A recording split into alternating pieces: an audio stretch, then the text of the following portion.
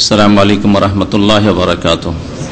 بسم اللہ الرحمن الرحیم الحمد للہ رب العالمین، والصلاة والسلام علی سید المرسلین، نبینا محمد وعلى آلہ وصحبہ اجمعین، ومن تبعہم بإحسان الى یوم الدین، اما بعد فعوذ باللہ من الشیطان الرجیم، بسم اللہ الرحمن الرحیم، حامیم والکتاب المبین، انا جعلناه قرآنا عربیا لعلکم تاقلون، وانہو فی ام الكتاب لدینا لعلی حکیم۔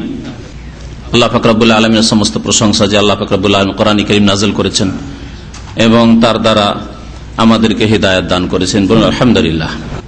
সালাত এবং সালাম নাজিল নবী মোহাম্মদ সাল্লাহ আলি সাল্লামের উপর, যার প্রতি আল্লাহ পাক কোরআন করিম নাজেল করে তাকে সম্মানিত করেছেন। আজকে তফসির হবে সুরাতে জোখরফের। সুরাতুজ জোখরফ কোরআন করিমের একটি সুরার নাম। এই সুরার আয়াত নম্বর পঁয়ত্রিশে জখরফ শব্দটি আল্লাহ পাক উল্লেখ করেছেন। সেই শব্দটি দিয়েই নামকরণ হয়েছে এই সুরার, সুরায় জখরফ। জখরফ মাসদার জাখরাফা থেকে, জাখরাফা ইউ ইউজাখরিফ মানে হচ্ছে সজ্জিত করা, অলঙ্কৃত করা, সাজানো, একে বলা হয় জাখরাফা বা জাখরাফা ইউ ইউজাখরিফ। এই জন্য বিভিন্ন ঘরে অথবা মসজিদে যে অনেক নকশা করা হয়, সাজানো হয় বিভিন্ন রং দিয়ে, এটাকে বলা হচ্ছে জাখরাফাতুল মাসাজিদ, মসজিদকে অলঙ্কৃত করা, যেটা কিয়ামতের একটি আলামত, লক্ষণ। কারণ শরীয়তে মসজিদকে এত অলঙ্কৃত করা, সাজসজ্জিত করা, যাতে মুসল্লির নামাজের দিকে, মন্না থেকে চলে যাও ওই নকশার দিকে, আর ওই সাজের দিকে এটা ঠিক নয়। তো এই জখরফ মানে সাজসজ্জিত করা, অলঙ্কৃত করা, আর স্বর্ণ দিয়ে অলঙ্কার ব্যবহার করা হয় সাধারণত মহিলাদের ক্ষেত্রে। এই জন্য কোরআনে কেরিমের ওই শব্দটির অর্থ যে আয়াত নম্বর পঁয়ত্রিশে রয়েছে, স্বর্ণের ক্ষেত্রে ব্যবহার হয়েছে। ইবন আব্বাস ইবন আব্বাস রাজি আল্লাহ তালা আনহমা এই জখরফের তফসির করেছেন স্বর্ণ দিয়ে। এই সুরাই ওনানব্বইটি আয়াত রয়েছে এবং নবী করিম সাল্লামের মক্কি জীবনে নাজল হয়েছে। নবী করিম সাল্লাহামের হিজরতের পূর্বে মক্কার জীবনে এই সুরা নাজল হয়েছে। এই সুরাই কোরআন করিমের শপথ দিয়ে আল্লাহ পাক সুরা শুরু করেছেন এবং কোরআন করিম আল্লাহ পাকের পক্ষ থেকে সম্মানিত বাণী আরবি ভাষায় আল্লাহ পাক নাজেল করেছেন। যাতে করে প্রথম সম্বোধন যেসব মানুষদেরকে করা হয়েছে তারা সহজে বুঝতে পারে। এবং আরবি ভাষা সবচেয়ে বেশি ব্যাপক অর্থ বহনকারী ভাষা। আরবি ভাষার মধ্যে আবার কোরাইশদের ভাষা সবচাইতে বেশি অলঙ্কারযুক্ত ভাষা, শুদ্ধ ভাষা এই জন্য আল্লাহ ফাকরাবুল আলম কোরাইশদের ভাষায় কোরআন করিম নাজল করেছেন। মহান আল্লাহ ইসাদ করেছেন, হামিম অল কিতাবিল মুবিন। হামিম এইরকম শব্দগুলি এর আগে এসছে, এগুলি হচ্ছে বিচ্ছিন্ন। বিচ্ছিন্ন অক্ষর, হা একটি অক্ষর মহিম একটি অক্ষর। এগুলির অর্থ আল্লাহ পাক জানাননি। সুতরাং এগুলির অর্থ জানার জন্য কোনো চেষ্টা করা বৃথা। এগুলির কোনো প্রয়োজন করে না। এগুলি আল্লাহ পাক রব্বুল আলমিনের কোরআনে কেরিমের আয়াত। এটা আমাদের বিশ্বাস করতে হবে। এবং এগুলি দিয়ে হয়তো আল্লাহ পাক রব্বুল আলমিন কাফেরদেরকে চ্যালেঞ্জ করতে চেয়েছেন যে এই অক্ষর দিয়েই কোরআনে করিম আল্লাহ পাক নাজেল করেছেন। আলিফ থেকে ইয়া পর্যন্ত। আর তোমাদের কাছে আলিফ থেকে ইয়া পর্যন্ত এই অক্ষরগুলি রয়েছে। বর্ণগুলি রয়েছে, সুতরাং তোমরা যদি কোরআনী করিমের প্রতি ইমান না নিয়ে আসো, আল্লাহ যে আল্লাহ প্রদত্ত কিতাব, আল্লাহর বাণী, তাহলে তোমরা এই রকমের অলঙ্কারযুক্ত বাণী তৈরি করে দেখিয়ে দাও। সেই চ্যালেঞ্জে তারা হার মানতে বাধ্য হয়েছে যে যুগে নবী করিম সাল্লা সাল্লামের উপর কোরআনী করিম নাজল হয়েছে। আল্লাহ বলছেন অল কিতাবিল মুবিন আর আমি শপথ করি, এমন কিতাবের যা স্পষ্টকারী। সহজভাবে অর্থ করলে সুস্পষ্ট কিতাবের, কিন্তু মুবিন ইসিম ফাইলের সেগে আবান থেকে মানে আবান মানে স্পষ্ট করা। তাহলে এমন কিতাবের আল্লাহ শপথ করছেন যেই কিতাব স্পষ্ট করেছে। যা কিছু তাতে রয়েছে বিশ্বাস সম্পর্কে, আকিদা সম্পর্কে, তা স্পষ্ট করেছে কোরআন করিম। যা কিছু তাতে এবাদাত সম্পর্কীয় রয়েছে, তা আল্লাহ পাক স্পষ্ট করেছেন এই কোরআন করিম দিয়ে। যা কিছু আখলাক চরিত্র সম্পর্কে রয়েছে, মানুষের আদান প্রদান সম্পর্কে রয়েছে, তা আল্লাহ পাক কোরআন করিম দিয়ে স্পষ্ট করেছেন। কোরআন করিম স্পষ্টকারী। এইরকমই যে কোনো বিষয়, ঘটনাবলী রয়েছে, স্পষ্ট আল্লাহ পাক আলম করেছেন কোরআনে করিম দিয়ে। যেসব ঘটনাবলী দিয়ে আল্লাহ পাক মানব জাতিকে উপদেশ দিতে চেয়েছেন, আগের যুগে যেসব ঘটেছে, সৎ ব্যক্তিদের ঘটনা তাদের থেকে শিক্ষার বিষয় যে আমরাও যদি সৎ হই, আল্লাহ ওইভাবে সম্মানিত করবেন। অসৎ ব্যক্তি, পাপিষ্ট যাদেরকে আল্লাহাক ধ্বংস করেছেন, যেসব জাতিকে ধ্বংস করেছেন, সেসব ঘটনাকে আল্লাহ এত স্পষ্ট করেছেন যা দিয়ে আমরা শিক্ষা নিতে পারব যে আমাদের যদি অবস্থা ওই রকমই হয়, চরিত্র ওই রকমই হয়, আমাদের দিনের অবস্থা, ধর্মের অবস্থা যদি ওই রকমই হয়, যেসব পাপি জাতি অতিবাহিত হয়েছে তাদের মতো, তাহলে আমাদের দশাও এরকমই হবে। আমাদের ওপর সেই রকমই আল্লাহ পাকের আজাব আসবে। অল কিতাবিল মবিন। স্পষ্টকারী কিতাবের আল্লাহ পাক শপথ করেছেন। শপথ করে কি বিষয় আল্লাহ উল্লেখ করেছেন? কোরআনের বিষয় উল্লেখ করেছেন। তাহলে এখানে শপথ কোরআনের আর শপথ করার পরে যে বিষয়টিকে অকাট্যভাবে বর্ণনা করা হয়, সেটাও বিষয়বস্তু হচ্ছে কোরআনে করিম। ইন্না যে আল্লাহ কোরআন আন আরবিয়া। এটা হচ্ছে বিষয় যার উপর শপথ করা হয়েছে। যেমন এটাকে বোঝানোর জন্য আপনার একটা শপথ দিয়ে বুঝাই। যেমন কেউ শপথ করছেন, কসম করছেন যে আল্লাহর কসম, আমি এই কাজ করব না। তো আমি এই কাজ করব না বা এখানে যাব না, এটা হচ্ছে আপনার বিষয়বস্তু যেটাকে শক্ত করে বর্ণনা করার জন্য আপনি কসম করছেন।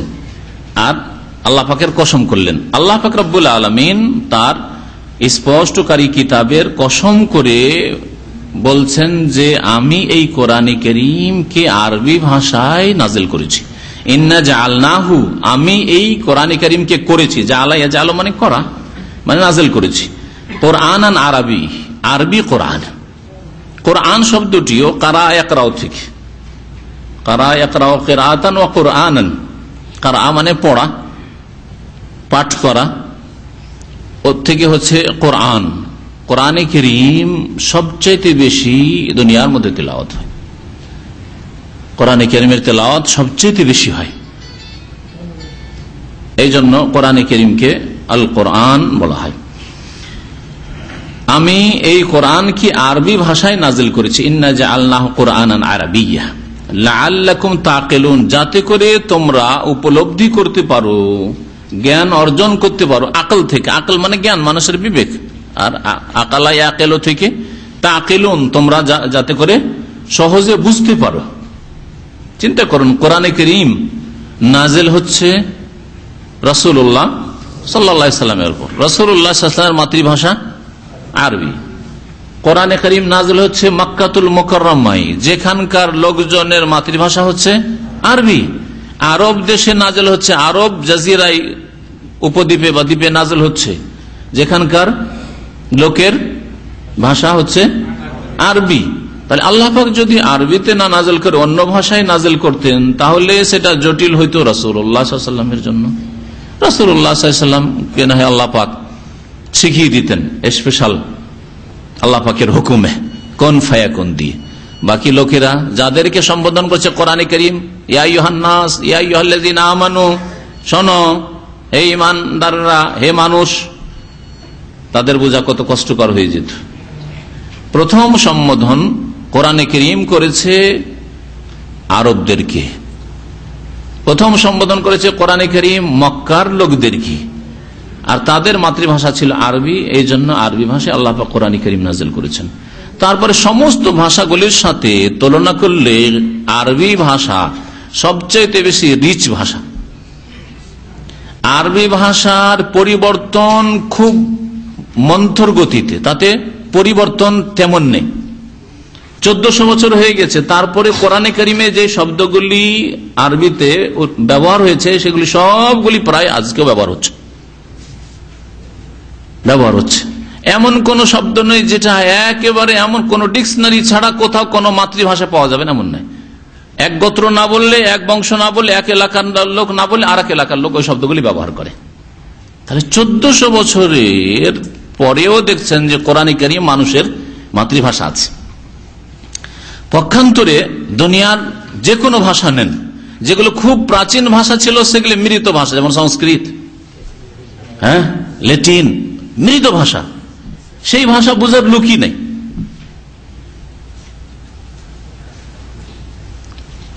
আর এমনকি ইংরেজি ভাষা সম্পর্কে যারা ভাষা পণ্ডিত তারা বলেছেন, ভাষার উপরে আমরা একটা সাবজেক্ট পড়াশোনা করেছিলাম ছাত্র জীবনে। আরবি সাহিত্যের উপর তাতে অন্যান্য ভাষা সম্পর্কে আলোচনা করা হইতো। তো তাতে বলা হয়েছে যে মাত্র দুইশো আড়াইশো বছর আগের ইংলিশ আজকের লোকেরা বুঝতে পারবে না, বিনা ডিকশনারি কনসাল্ট করে। যতক্ষণ ডিকশনারি না দেখবে। শেক্সপিয়ারের ইংলিশ কবিতা বুঝতে পারবে না আজকের যুগের লোকেরা, সাধারণভাবে।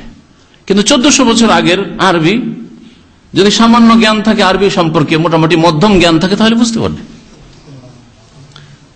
আল্লাহ ফাকরাবুল আলমিন তার বহু হেকমত যা তিনি জানেন, বহু রহস্য যা তিনি জানেন, সেসব রহস্যের কারণে কোরআনী করিম আরবি ভাষায় নাজল করেছেন। ওয়াইনাহুফি উম্মিল কিতাব। আর নিঃসন্দেহে এই কোরআনে করিম এই যে কোরআনের কথা আল্লাহ উল্লেখ করলেন, তা মানে এই কোরআনে করিম। ফি উম্মিল কিতাব, লাদাইনা। আমার নিকট, আল্লাহ বলছেন, আমার নিকট, লাদাইনা আমাদের নিকট, অর্থাৎ আল্লাহ পাকের নিকট, বহু বচন আল্লাহ পাক নিজের শানের ক্ষেত্রে উল্লেখ করেছেন। আমার নিকট ফি অম্মিল কিতাব অম্মুল কিতাবে রয়েছে। অম্মন মানে মূল, আসল, আর কিতাব মানে কিতাব। যে কিতাবের মূল তাতে রয়েছে। কিতাবের মূল কি? এই কিতাবের মূল বা আসল হচ্ছে লৌহে মাহফুজ লৌহে মাহফুজ, সুরক্ষিত ফলক। আল্লাহ ফাকরাবুল আলমিন অন্য সুরাই বলেছেন বলহোয়া কোরআন মজিদ ফি লৌহি মাহফুজ, সুরায় বুরুজে রয়েছে। বরং জেনে রাখো যে এই কোরআন হচ্ছে সম্মানিত কোরআন কোরআন মজিদ। ফি লৌহে মাহফুজ, যা সুরক্ষিত ফলকে আল্লাহ পাক রব্বুল্লাহ কাছে যে সুরক্ষিত রয়েছে, শয়তান থেকে, জিন থেকে মানুষের স্পর্শ করাতে কেউ স্পর্শ করতে পারে না। সেই ফলকে সুরক্ষিত রয়েছে। আল্লাহ ফাকর বলছেন যে, সেটা হচ্ছে অমুল কিতাব। সমস্ত শহর, সমস্ত দেশের মূল, আল্লাহ বলেছেন অমুল কোরা মাক্কাতুল মুকাররমাকে। মাক্কাতুল মুকাররমার আরেক নাম হচ্ছে কোরআনী নাম কি? লেতুনজেরা ওম্মাল করা অমান হাউলা আল্লাহ বলছেন, যাতে হে নবী, তুমি সতর্ক করো ওম্মুল কোরা এবং আশেপাশের লোককে। মক্কার লোককে এবং মক্কার আশেপাশের লোকদেরকে। প্রথম তাদেরকে সতর্ক করো। অমুল কোরআন কারিয়াতন মানে গ্রাম বা শহর। কারিয়া দুই অর্থে ব্যবহার হয়। কারিয়া মানে গ্রামও হয়, আবার জনপদ আর শহর হইতে পারে। তো আর কারিয়াতনের বহুবচন হচ্ছে কোরআ তাহলে যত জনপদ রয়েছে, যত দুনিয়াতে শহর রয়েছে, যত গ্রাম রয়েছে, সবগুলির মূল হচ্ছে হ্যাঁ? মক্কাতুল মোকারমা এইরকমই কোরআনে করিমের মূল আল্লাহ বলেছেন। কি? কোরআনে করিমের মূল। না, এটা হচ্ছে অমূল কিতাব। কিতাবের মূল বললাম। আর এটা হচ্ছে কোরআনে করিমের যে সুরাগুলি সুরাগুলির একটি মূল সুরা রয়েছে, সুরাতুল ফাতেহা।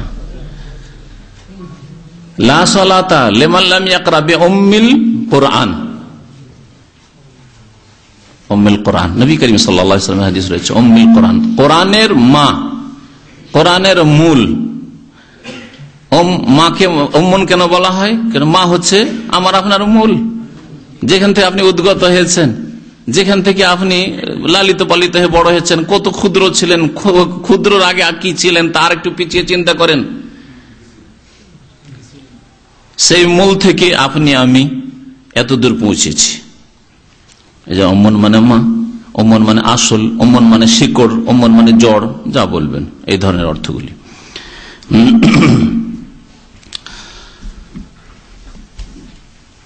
সুরা ফাতেহা ছাড়া নামাজ হয় না। ওই ক্ষেত্রে নবী করিম কি বলেছেন?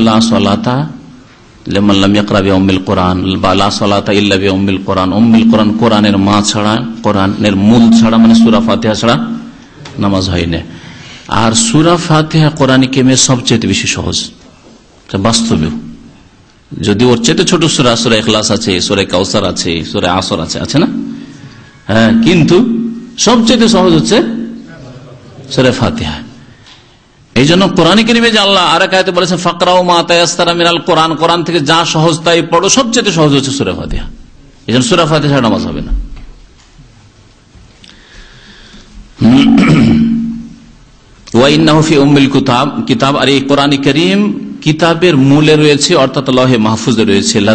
আমার নিকট, লা আলিজুন হাকিম।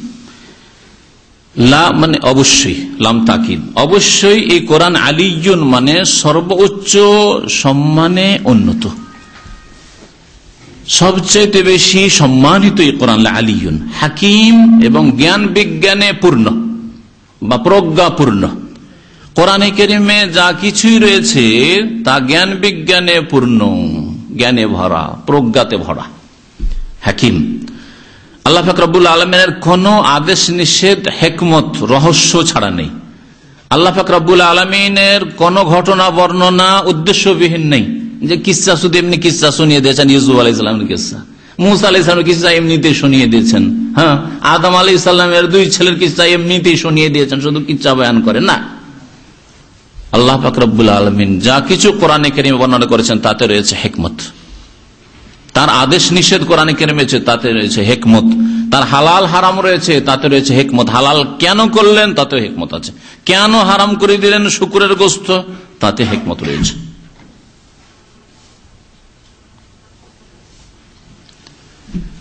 আল্লাহ ফাকরাবুল আলমিন একজন পুরুষের জন্য প্রয়োজনে চারটি পর্যন্ত জায়জ করলেন নারী, তাতে হেকমত রয়েছে।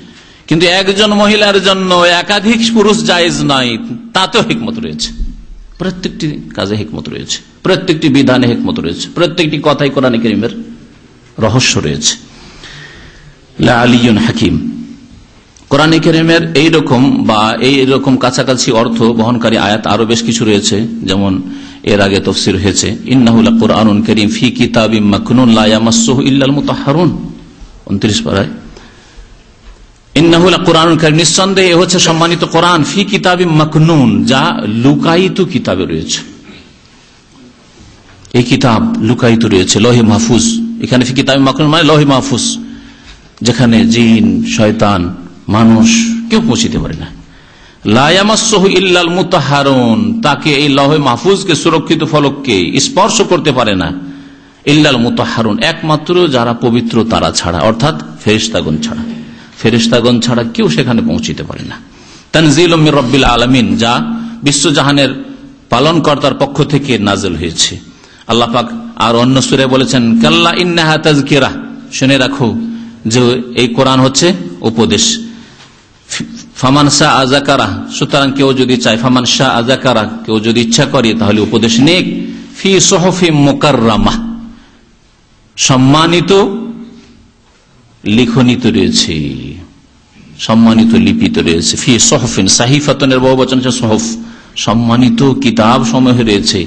মারফু যা সম্মানিত, যাকে আল্লাহ সুউচ্চ করেছেন কোরআন করিমকে। মোতাহারা, যাকে পবিত্র রেখেছেন। নাপাক হাত স্পর্শ করতে পারে না। কারণ জিন শয়তানের হাত যদি স্পর্শ করত, মানুষ শয়তানের হাত যদি স্পর্শ করতে পারত, তাহলে তাতে রদবদল করে দিত। শুধু না পাখি লাগিয়ে দেওয়াই শুধু না, বরং কি করত? খেয়াল খুশি জিনিস ঢুকায় তো, যেমন ইয়াহুদিরা, আল ফুরকান তৈরি করছে, এই কোরআন বাদ দিয়ে আর এক কোরআন তৈরি করে মুসলিম সমাজে পাচার করার জন্য চেষ্টা লেগে আছে। শুনেছেন? আল ফুরকানুল হকের কথা। এক বছর আগে বলেছিলেন এক আলোচনায়। মোতাহারা, পবিত্র রাখা হয়েছে। বেআইদি সাফারা, যারা সম্মানিত ফেরিস্তা তাদের হাতে রয়েছে কেরামিন, যারা সম্মানিত বারারা, যারা নেক সৎ। এরকম বহু আয়াত কোরআন করিমের প্রশংসায় কোরআন করিমের গোনাবলিতে রয়েছে কোরআন করিমে। আগে বড়া যাক, আল্লাহ পাক বলছেন, আফা নজর আনকুম জিকরা সাফহান আনকুন্তুম কৌমা মুসরিফিন? আফা নজর আনকুম জিকরা সাফহান। এখানে আরবি ভাষার একটা বাক ভঙ্গিমা রয়েছে। বিভিন্ন ভাষাতে একটা বাক ভঙ্গিমা আছে, যেটা শাব্দিক অর্থ থেকে একটু দূরে গিয়ে বুঝতে হয় কথা। আরবরা বলতো, জারাবা আনহ সাফহান মানে তাতে থেকে মুখ ফিরিয়ে নিল। জারাবা আনহ সাফাহান সাফা আপনার এই দিকটা। হাতের তলাকেও সাফা বলা হয়। তো মুখ ফিরিয়ে নিল। এই ক্ষেত্রে জারাবা আনহ সাফান ব্যবহার করা হয়। এ জারাবা আনহ সাফান থেকে কোরআন আয়াতটাকে লক্ষ্য করেন। আফা নাজরে আন কোমজিকরা সাফান আল্লাহ বলছেন, আমি কি তোমাদের থেকে উপদেশকে প্রত্যাহার করে নেব, ফিরিয়ে নেব? যে কোরআন নাজেল করা শুরু করেছিলাম, আর দেখলাম যে মক্কার কাফের একটিও ইসলাম কবুল করতে চায় না। এরা কোরআনকে বরদাস্ত করতে পারে না শুধু কোরআনকে প্রত্যাহার করি না, ফিরিয়ে নেব, উঠিয়ে নেব আমি। যাক, তোমাদের জন্য দরকার নেই কোরআনের উঠিয়ে নেব। এই আয়াতের দুটি তফসির করা হয়েছে। সাহাবি মুফাসের কোরআন আবদুল্লাহ বিন আব্বাস রাজি আল্লাহ তালা আনহমা একটি তফসির করেছেন। আর একটি তফসির প্রখ্যাত তাবি কাতাদা রহমতুল্লাহ আলাই থেকে তফসির রয়েছে। যে তফসিরটি এখন বললাম যে, তোমরা ইমান আনকুন্তুম তারপরে আগের অংশটুকু তর্জমা করে, আনকুন্তুম কৌমা মুসরেফিন যে তোমরা সীমালঙ্ঘনকারী জাতি, এজন্য তোমরা সীমালঙ্ঘনকারী জাতি মানতে চাইলে না কোরআনকে সেই জন্য আমি কোরআনকে কি প্রত্যাহার করে নেব? কারণ অনেক সময় শাসক গোষ্ঠী অথবা বড় কোনো নেতা অথবা বাড়ির মালিক যে, বাড়িতে পাঁচ ভাই থাকতে মালিক থাকে, একজন মালিক থাকে না, বাবাই হোক অথবা বড় ভাই হোক, কোন একটা সিদ্ধান্ত নেই সিদ্ধান্ত নেওয়ার পরে দেখল যে ভাইয়েরা আমাদের রাজি না। তখন কি করে? প্রত্যাহার করেন না ঠিক আছে, এটা আমি আমার কথাটা উঠিয়ে নিলাম। হ্যাঁ? নেতারা ওইরকম করে। কোন একটা সিদ্ধান্ত নিতে যায়, দেখল যে মুসিবত আছে। এই সিদ্ধান্ত নিতে গেলে আমাদের অসুবিধা আছে। সিদ্ধান্তকে উঠিয়ে না প্রত্যাহার করে। আল্লাহ বলছেন, আমি কোরআন নাজেল করতে চেয়েছি এবং কোরআন নাজেল করব। তোমরা যে সীমা লঙ্ঘনকারী জাতি, সেজন্য আমি কোরআন কি কি প্রত্যাহার করে নেব? আফান তোমাদের থেকে এই উপদেশকে কি প্রত্যাহার করে নেব? কোরআনে কেরিমের যে উপদেশ রয়েছে, আনকুন্তুম কম মুসরিফিন, যে তোমরা সীমা লঙ্ঘনকারী জাতি এই জন্য যে তোমরা মানতে চাইছো না, সুতরাং কোরআন নাজের করে লাভ নাই, উড়িয়ে নিলাম। এটা কখনো করব না। আমি যা করতে চেয়েছি, করব। নাজিল করতে চেয়েছি, নাজিল করব। তোমাদের ওপর আমার প্রুফ, প্রমাণ হজ্জত কায়েম হবে। যে আমি তোমাদেরকে জানিয়ে দিয়েছিলাম সত্য পথ, জানিয়ে দিয়েছিলাম বাতিল পথ। সুতরাং বাতিলকে ত্যাগ করতে হবে আর সত্যকে গ্রহণ করতে হবে। না হলে প্রতীক্ষা করো, দুনিয়াতে আল্লাহ পাকের আজাবের আর পরকালে জবাবদেহি করতে হবে। এটা হচ্ছে কাতাদা রহমতুল্লাহ তফসির আর এমা বিন কাসির রহমতুল্লাহ এই তফসিরকে প্রাধান্য দিয়েছেন। বলছে, এই তফসির সবচেয়ে ভালো। আর শব্দের কাছাকাছি। ইবিন আব্বাস তফসির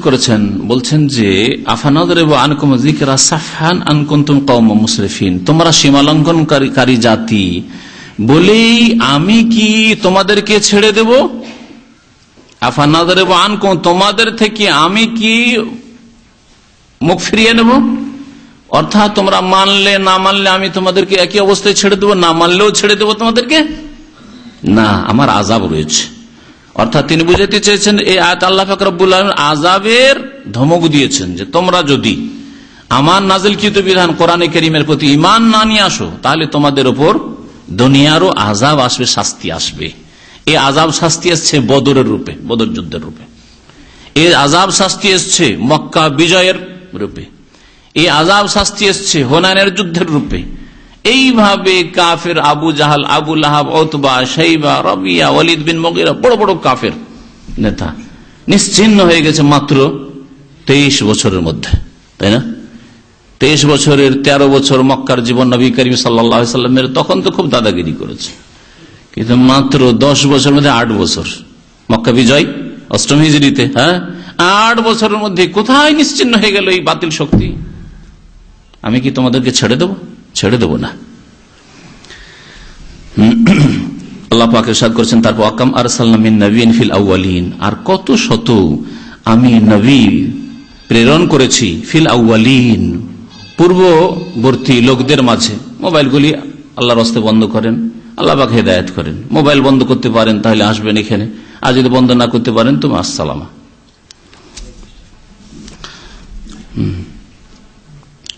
আল্লাহ বলছেন যে কোন জাতিকে আমি বিনা নবীতে ছাড়িনি।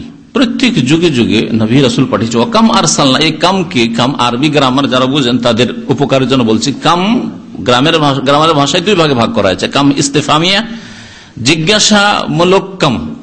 কাম রিয়ালান ইন্দাক। তোমার কাছে কয় রিয়াল আছে? হ্যাঁ? কাম বাইতান ইন্দাক। তোমার কাছে কয়টা বাড়ি আছে? এই যে কাম, এটা ইস্তেফামিয়া, জিজ্ঞাসামূলক কাম। আর একটা হচ্ছে কাম খাবরিয়া। অর্থাৎ সংবাদ দেওয়ার জন্য, কোনো কিছু সংবাদ দেওয়ার ক্ষেত্রে কাম ব্যবহার করা হয়। এটা হচ্ছে কাম খাবরিয়া। ও কাম আর সাল্লামিন নাবিয়ান, আমি কত শত নবী পাঠিয়েছি, এখানে জিজ্ঞাসা হচ্ছে না। হ্যাঁ? ওকাম আহলাক নামিন কারিয়াতিন, আমি কত শত জনপদকে ধ্বংস করেছি, আল্লাহ নায়াতে বলেছেন। কত শত জনপদকে ধ্বংস করেছি, আল্লাহ খবর দিচ্ছেন, সংবাদ দিচ্ছেন। এখন আল্লাহ পাক সংবাদ দিচ্ছেন ওকাম আর নবী ইনফিল আউ্বালিন পূর্ববর্তী প্রাচীন যুগের লোকদের মাঝে আমি কত নবী পাঠিয়েছি? মানে অনেক নবী আমি প্রেরণ করেছি। তাদের চরিত্র তোমাদের মতোই ছিল। মানুষের স্বভাব হচ্ছে এরকম। যখন কোন সত্য কথা আসে, প্রথম মানতে শয়তান দেয় না।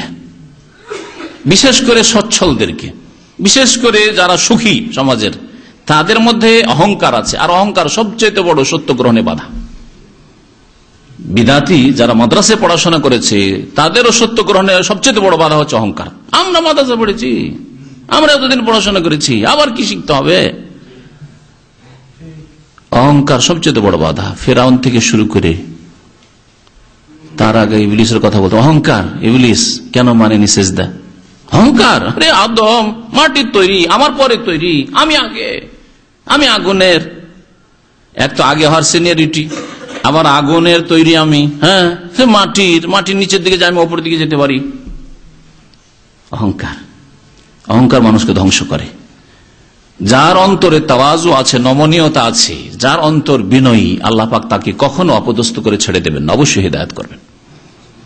সবসময় নিজেকে দুর্বল মনে করতে হয়। আমি বিদ্যায় দুর্বল, আমি বুদ্ধিতে দুর্বল, আমি শারীরিক দিক থেকে দুর্বল আমি আমাকে যা কিছু আল্লাহ দিয়েছেন সবকিছু দুর্বল। হ্যাঁ পয়সা পেয়েছি সেই জন্য ব্যাস, না। এইভাবে যে কোনো জাতির মধ্যে যারা সুখী লোক, তারাই ধ্বংস হয়েছে। তারাই ধ্বংস হয়েছে। প্রথম যে কোনো সত্য দাওয়াত আল্লাহ পাকের পক্ষ থেকে নবীর মাধ্যমে এসছে। সেই দাওয়াত কবুল করেছে গরিব, অসহায় লোকেরা। নবী করিম সাল্লা সাল্লামের সিরাজ সাহাবাই কারের মক্কার জীবন দেখেন। আল্লাহ পাক বলছেন যে নবীন এমন কোন নবী আসেনি যে যার সাথে তারা ঠাট্টা বিদ্রুপ করেনি যে কোন নবী তাদের কাছে আসতো, তার সাথে তারা কি করত? ঠাট্টা বিদ্রুপ করত ইস্তাহজেউন ফাহলাকনা আসাদ্দাম বাতাসা।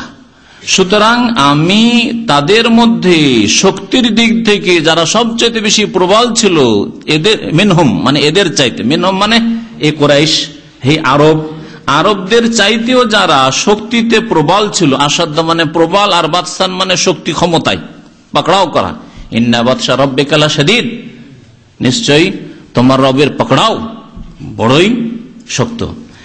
আল্লাহ বলছেন, আমি আল্লাহ হালাক ধ্বংস করেছি। আসাদ্দামেনহম এই আরবদের, যাদের মাঝে নবী করিম সাল্লাম কোরআন করিম নিয়ে এসছেন, এদের চাইতে বেশি যারা শক্তিতে প্রবল ছিল তাদেরকে আদ সম্প্রদায়কে সামুদ সম্প্রদায়কে লুত আলাইসাল্লামের জাতিকে ফেরাউন এবং তার সেনাবাহিনীকে যারা শক্তিতে বড় প্রবল ছিল, তাদেরকে ধ্বংস করেছে। নু আলি সাল্লামের জাতিকে যারা বাঁচত হাজার বছর, বারোশো বছর, এইরকম বয়স পেত, তাদেরকে ধ্বংস করেছি। তোমাদের বয়স তো ষাট, সত্তর। কত ক্ষমতা? হ্যাঁ? নাবালক ছেলে চোদ্দ, পনেরো পর্যন্ত, পনেরো থেকে নিয়ে চল্লিশ পর্যন্ত খুব শক্তি, কতদিন আর? আর তারপরে তো দুর্বল হইতে শুরু হইলে। আর তারা যারা এক হাজার বছর বাঁচত, কতদিন তারা শক্তিশালী থাকতো চিন্তা করুন তো দেখি। পনেরো বছর বয়সে শক্তি হয়ে গেছে শরীরে। তার থেকে শুরু করে যদি হাজার বারোশো বছর বয়স হয়, তো কমপক্ষে আটশো, নয়শো বছর পর্যন্ত তো শক্তিশালী থেকেছে তাদেরকে আল্লাহ ধ্বংস করেছেন।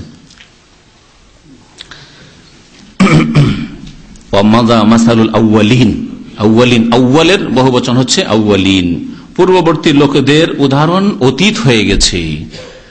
এর অর্থ কি? পূর্ববর্তী লোকদের উদাহরণ, অর্থাৎ পূর্ববর্তী লোকরা যখন অবাধ্য হয়েছে, আল্লাহর দিনকে মানেননি, নবীদের প্রতি ইমান নিয়ে আসেনি তখন তাদেরকে যে আল্লাহ ধ্বংস করেছেন, এই ধ্বংসের ঘটনাগুলি অতীত হয়ে গেছে, এগুলিতে তোমাদের শিক্ষণীয় বিষয় রয়েছে। মাসাল লের তফসির করেছেন এবরাত মানে তাতে তোমাদের শিক্ষণীয় বিষয় রয়েছে। সত্যিকার জ্ঞানী মানুষ। আল আকেল মান ওয়েজা বেগাইরিহি। জ্ঞানী ওই ব্যক্তি, যে ব্যক্তি অন্যকে দেখে শিক্ষা নেই এটা আরবিতে প্রবাদ। জ্ঞানী ওই ব্যক্তি যে ব্যক্তি অন্যকে দেখে শিক্ষা নেই। একজন লোক চুরি করবে, তারপরে একবার মার খাবে, তারপরে চুরি থেকে তবা করবে, সে জ্ঞানী নয়। যেমন একবার চুরি করেছিল, তারপর খুব পিটুনি খেয়েছে, মার খেয়েছে, তারপর চুরি থেকে তবা করেছে। মদ খেয়েছে, তারপরে ধরা খেয়েছে, মার খেয়েছে, লাঞ্ছিত হয়েছে, তারপরে তবা করেছে। না জ্ঞানী ব্যক্তি মান হয়ে যাবে, অন্যকে দেখে শিখবে। মদ খেয়ে একজন পায়খানায় গড়াগড়ি করছে হ্যাঁ? ওকে দেখেই শিক্ষা দেবে। সুহান আল্লাহ এরকম কাজ জীবন করব না। হ্যাঁ? চুরি করেছে, তারপরে চোর, মার খেয়েছে, গণপিটুনি খেয়েছে, আবার জেলে থেকেছে, ওকে দেখে শিখে নেবে যে এইসব কাজ আমি করব না। জ্ঞানী ওই ব্যক্তি, যে ব্যক্তি অন্যকে দেখে শিক্ষা গ্রহণ করে। তাহলে জ্ঞানী জাতি, জ্ঞানী উম্মত, ওই উম্মত, যেই উম্মত, আগের উম্মত গুলি যেসব উম্মতকে আল্লাহ ধ্বংস করেছেন, তাদেরকে দেখে শিখে নিবে, তাদের ঘটনা পড়ে আর শুনেই শিখে নিবে। আল্লাহ পাক তারপরে এরশাদ করছেন যে, আরব মুশ্রিকরা মুশ্রিক পত্তলিক হইলেও সৃষ্টিকর্তা খালেক, রব পালনকর্তা আল্লাহকে মন্থ আসমান জমিন কে সৃষ্টি করেছে। তারা বলতো আল্লাহ, সৃষ্টিকর্তা। ছেলে মেয়েকে দেন আল্লাহ, এসব বিশ্বাস করত। আজকের মুশ্রিকরা, মুসলিম উম্মাতের যারা কবর পূজা করে, তারা এদের চাইতে আগে বেড়ে আছে। এরা আল্লাহ ছাড়া অন্যকে সেজদাও করে, কবরে সেজদা করে, মজারে সেজদা করে। আল্লাহ ছাড়া অন্যের কাছে দুয়াও করে, তৌহিদে অলুহিয়া তো শির করে। বাবার কাছে আজম, মাদাদ খাজা মাদাদ হ্যাঁ বাবা গো দাও গো উদ্ধার করো গো বালা মুসিবত দূর করো গো তাই না? তা তৌহিদে অলুহিয়া তো শির করে, আর তৌহিদে রবুবিয়ত মানে সন্তান দাতা, ছেলে মেয়ে দাতা কে? আল্লাহ তৌহিদে রবুবিয়ত। দাতা আল্লাহ। এরা বলে দাতা ওই বাবা। তো রবুবিয়ত শিরিক করে। পক্ষান্তরে মক্কার মুশ্রেকরা যারা তিনশো ষাটটি মূর্তির পূজা করতো, কাবার চারিদিকে রেখে, তারাও সৃষ্টিকর্তা। লালন পালনকারী রব, রোগের আরোগ্য দাতা এসব রঘুবিয়াতের ক্ষেত্রে, প্রভুত্বের ক্ষেত্রে আল্লাহকে এক বলে মানত। আর একটি পার্থক্য আছে আর একটি পার্থক্য আছে, আজকের মুশ্রেকরা আগের মুশ্রেক চাইতো জঘন্য, নিকৃষ্ট। আর এক দিক থেকে, এটা একটা দিক হলো, ভালো করে বোঝার চেষ্টা করুন আর একটা দিক। আরব মুশ্রেকরা যখন বেশি বড় মুসিবতে পড়তো তখন ছোট খোদাগুলিকে ভুলে যেত। লাতুজা মানাত হোবালিগুলিকে ভুলে যেত। ভুলে যেত এগুলিকে। তখন কাকে ডাকতো? কোরআনে করিম আল্লাহ একাধিক আয়তে বলেছে দাউল্লাহ মুখলিসিন আল্লাহ তখন যখন দেখছে তুফান উঠেছে সমুদ্রে পানি পথে আর বাঁচব না এখন আর দেবদেবী বাঁচাইতে পারবেন এখন ওই আল্লাহ যে যিনি আসমানে আছেন তিনি বাঁচাইতে পারবেন। দাউল্লাহ মুখলিসিন আল্লাহদ্দিন একমাত্র আল্লাহকে ডাকতে শুরু করতো। ফালাম্মা নাজ্জাহমিলার যখন আবার শুকনাতে চলে গেল স্থলে পৌঁছে গেল স্বস্তি পেয়েছে। এজাহম বেরবিম তখন শিরিক করাতে শুরু করতো। আবার মূর্তি পূজা শুরু করল। আজকের মুশ্রেকরা কবর পূজারীরা? চিন্তা করুন তো দেখি, এর বিপরীত। প্রথম দিকে আল্লাহর কাছে দোয়া করে, নতুন বিবাহ শাদী করেছে তার আল্লাহর কাছে দোয়া করে, তাই না? প্রথম প্রথম অসুখ হলে আল্লাহর কাছে দোয়া আল্লাহ ভালো করে দাও, আল্লাহ ভালো করে দু চার দিন করল এরকম, দশ দিন করল, এক মাস করল, তাই না? তারপরে একটু ফুক ফাঁক যেটা শরীয়ত সম্মত ফুক দেওয়া, ওটাও করল প্রথম দিকে হয়তো শরীয়ত সম্মত এটা হ্যাঁ? পানি পড়া, তেল পড়া, তারপরে কোন আলেমের কাছে কোরআনের আয়াত পড়ে, এখলাস, নাচ, ফালাক পড়ে পড়ে ফুক দেওয়া, এগুলি প্রথম দিকে করল, এটা প্রথম খানে। হালকা হালকা মুসিবত আছে তখন। কথা বুঝতে পারছেন? আর যত মুসিবত বাড়ছে, না, পাঁচ বছর হয়ে গেল ছেলে মেয়ে হয় না, দশ বছর হয়ে গেল, পনেরো বছর হয়ে গেল, শেষ দিকে কি করে? বড় মুসিবত আসলে তখন মাজারে যায়। রোগ ভালো হচ্ছে না, ডাক্তার ফেল অনেক দিন ঝাড়ফুক করেছি। হয়নি। এখলাস নাচ ফালাক, সুরা ফাতিয়া দিয়ে চিকিৎসা করেছি, হয়নি। এখন তাবিজ, শিরিক। তারপরে তাবিজ, আগে তাবিজ করে না, তাবিজ পরে, আগে ঝাড়ফুক হালকা। হয় না, হতে হলো না। নিজে পড়লাম এখলাস নাচ ফালাক পড়লাম, নিজে পড়েছি, হয় না। তাবিজ। এ শির তো হইল হইল। তারপরে রোগ ভালো হয় না, রোগ ভালো হয় না। রোগ কোথায় ভালো হবে? মানুষ শয়তানে পরামর্শ দিল আর জিন শয়তানে ওয়াসওয়াসা দিল। মিনসারিল ওয়াসওয়াসিল খান্নাস, আল্লাযী ওয়াসওয়াসা ফি সুদুরিন নাস, মিনাল জিন্নাতি ওয়ান নাস।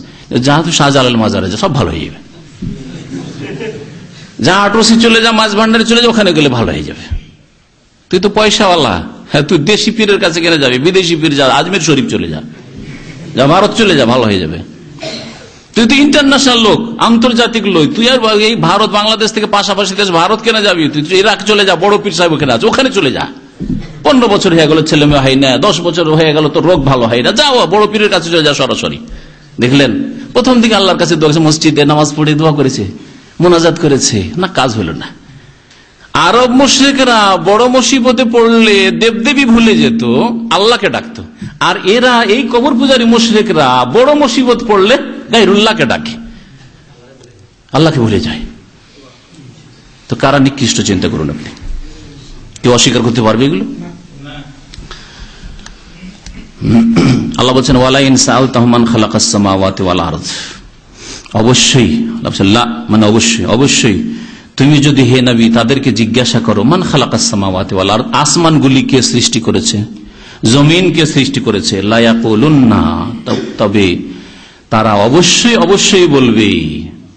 কি বলবে? খালাকাহন্নাল আজিজুল আলিম। এগুলিকে সৃষ্টি করেছেন যিনি আজিজ, যিনি পরাক্রান্ত, যিনি সর্বজয়ী, তার উপর কেউ জয়ী হতে পারে না। তাকে কেউ হারাতে পারেন না, আল আজিজ, আল আলিম এবং যিনি সর্বজ্ঞ, সব কিছুই জানেন। সব কিছুই সম্পর্কে অকেফাল যিনি তিনি সৃষ্টি করেছেন। কাদের কথা এটা? মুশরিকদের কথা। তাহলে মুশরিকরা রবুবিয়ত মানত। মুশরিকরা কখনো বলতো না যে আমাকে হোবাল সৃষ্টি করেছে। আমাকে লাত উজ্জা মানাতে সৃষ্টি করেছে। এই তিনশো ষাটটা মূর্তির কেউ সৃষ্টি করেছে কত কখনো বলতো না। আমাকে এই ছেলে দিয়েছে ছেলে হচ্ছে এই হোবাল বাবার দান। এই উজ্জা বাবার দান, এই কথা বলতো না। ওরা শুধু সিঁড়ি করতো, সেজদা, দোয়া আর কিছু মান্যত সামনে পেশ করা, যেমন দেবদেবীর সামনে পেশ করা এগুলি করতো। আর বাকি সৃষ্টিকর্তা আসমান জমের সৃষ্টিকর্তা আল্লাহ, ওপরওয়ালা। এসেন হিন্দুদেরকে বলতে, ওপরওয়ালা। হিন্দুরা ওপরওয়ালা বলে, আর আমাদের মুসলিম সমাজের বিদাতিরা বলে যে আল্লাহ সর্বত্র বিরাজমান। দেখছেন? কত ভ্রান্ত কথা। কত ভ্রান্ত কথা, চিন্তা করুন তো। এটা কাফের, যার কাছে কোরআন একটি আয়াতেরও জ্ঞান নেই, কিছু নেই, সেও বলছে ওপরওয়ালা। আপনি বুঝতে পারেন না, আপনার প্রকৃতিতে ওপরওয়ালাই কথাটি আছে। দোয়া করলে মনটা নিচের দিকে যায় না বা সব এখানেই তো আল্লাহ আছে। এরকম হয় না, মনটা ওপর দিকে যাচ্ছে? আল্লাহর কাছে নেব, সাত আসমান জমিনে যিনি মালিক। মানুষের নেচার আছে যে আল্লাহ ফাকর সবকিছুর ঊর্ধ্বে। এটা কোরআনও বলছে, এটা হাদিসও বলছে, এটা মানুষের বিবেক বলছে, মানুষের ফিতরাত নেচারও বলছে।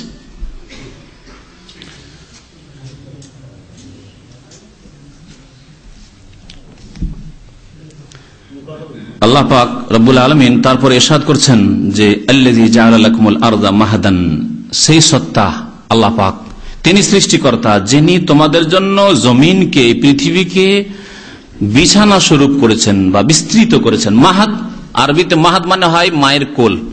মায়ের কোলে ছেলে যত আরাম পায়, অন্য কোথাও আরাম পায় না, তাই না? বিছানা শুয়ে দেন বাচ্চা, অত আরাম পাবে না। যেন বিছানায় কান্না করে, কোলে নিলে চুপে যায়।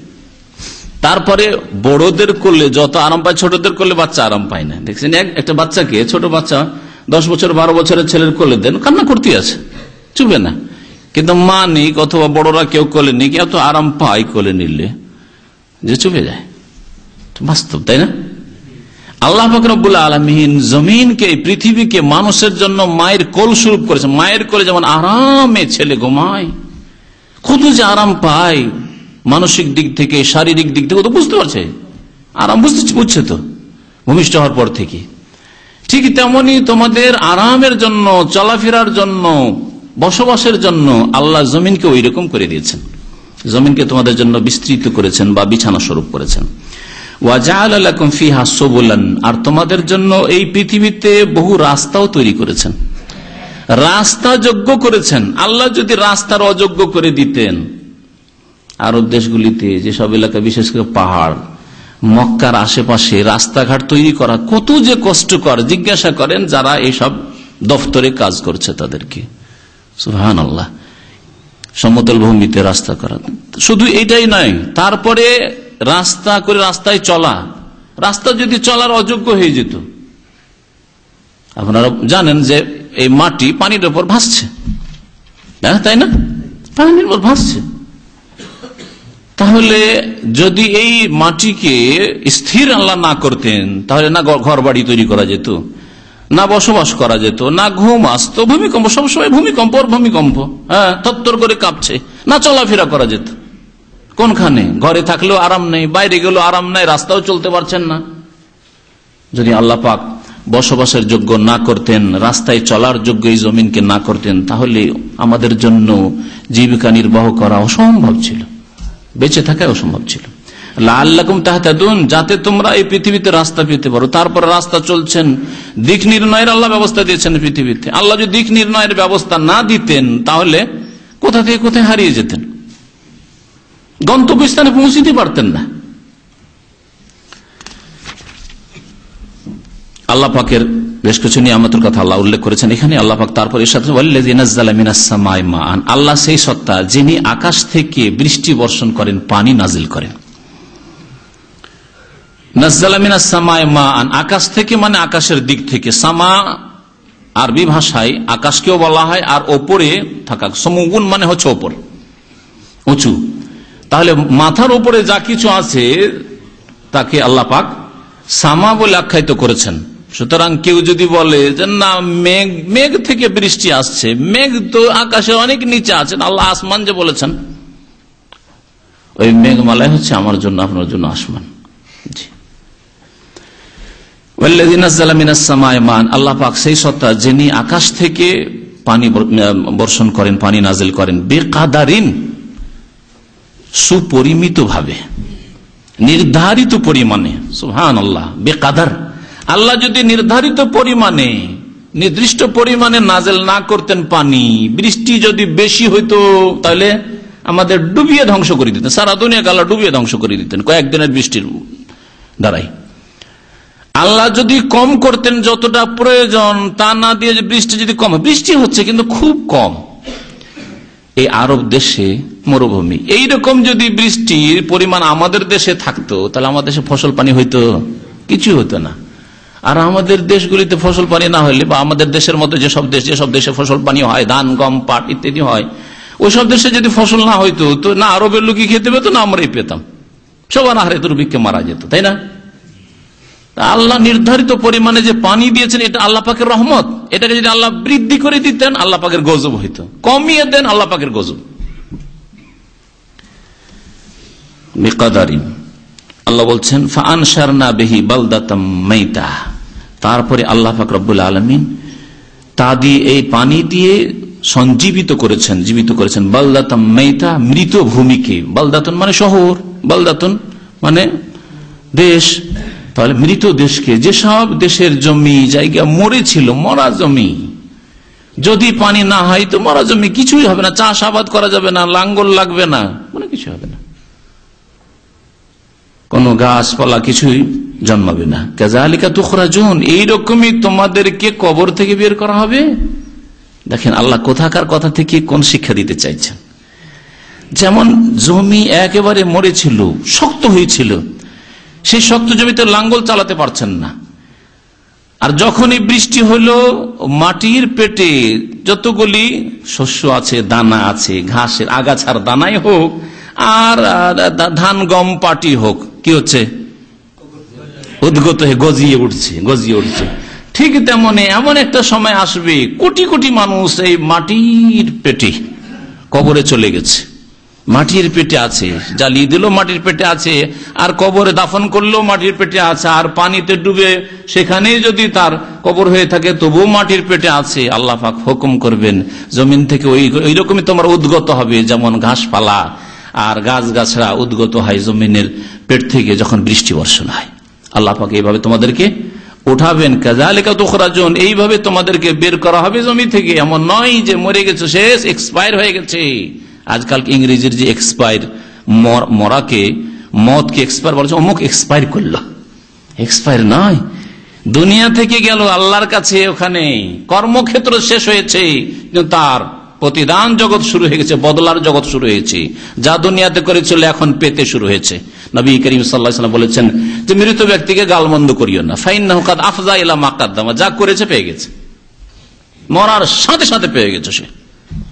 কাদ আফজা এলা মাকাদ্দামা যা আল্লাহর কাছে অগ্রিম পেট পাঠিয়েছে, জুলুম পাঠিয়েছে হ্যাঁ বেনামাজি হওয়া পাঠিয়েছে, হারাম খাওয়া পাঠিয়েছে, চুরি করা পাঠিয়েছে, পাপ পাঠিয়েছে, পেয়ে গেছে। প্রত্যেকে ওর একজন আপনিও মানে আপনি নিজেকে বাদ দিয়া বলেন না, আমাদের স্বভাব হচ্ছে নিজেকে বাদ দিয়া। শুধু অপরের দোষ করে নজর ও, মুখ চোর। হ্যাঁ যা করেছে পেয়ে গেছে। কিন্তু আপনি যে নামাজ চোর, বেনামাজি। আর আপনি বললেন পাবেন না। হ্যাঁ বলেন। আপনি রোজা চোর, রোজা, ফরজ রোজা ঠিক করে রাখেননি, আপনি পাবেন না। আপনিও পাবেন। আপনি তো একজন। নিজের সংশোধন করেন। আল্লাহ পাক তারপরে সাদ করছে, ওয়াল্লাযী খালাকাল আজওয়াজা কুল্লাহা। আল্লাহ সেই সত্তা যিনি সমস্ত প্রকারের সৃষ্টি, আজওয়াজ আল আজওয়াজা কুল্লাহা। এর দুটি তফসির, একটা হচ্ছে আজওয়াজ মানে আসনাফ।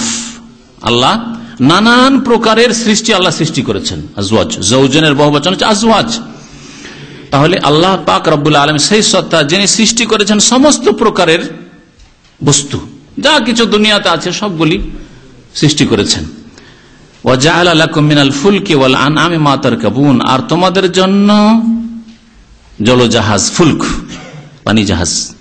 ফুলক হচ্ছে পানি জাহাজ। ফুলক শব্দটি এমন একটা শব্দ যারা আরবি গ্রামার বোঝেন তারা শুনে রাখেন। ফুলকে এক বচন হয়, আবার বহু বচন ফুলক।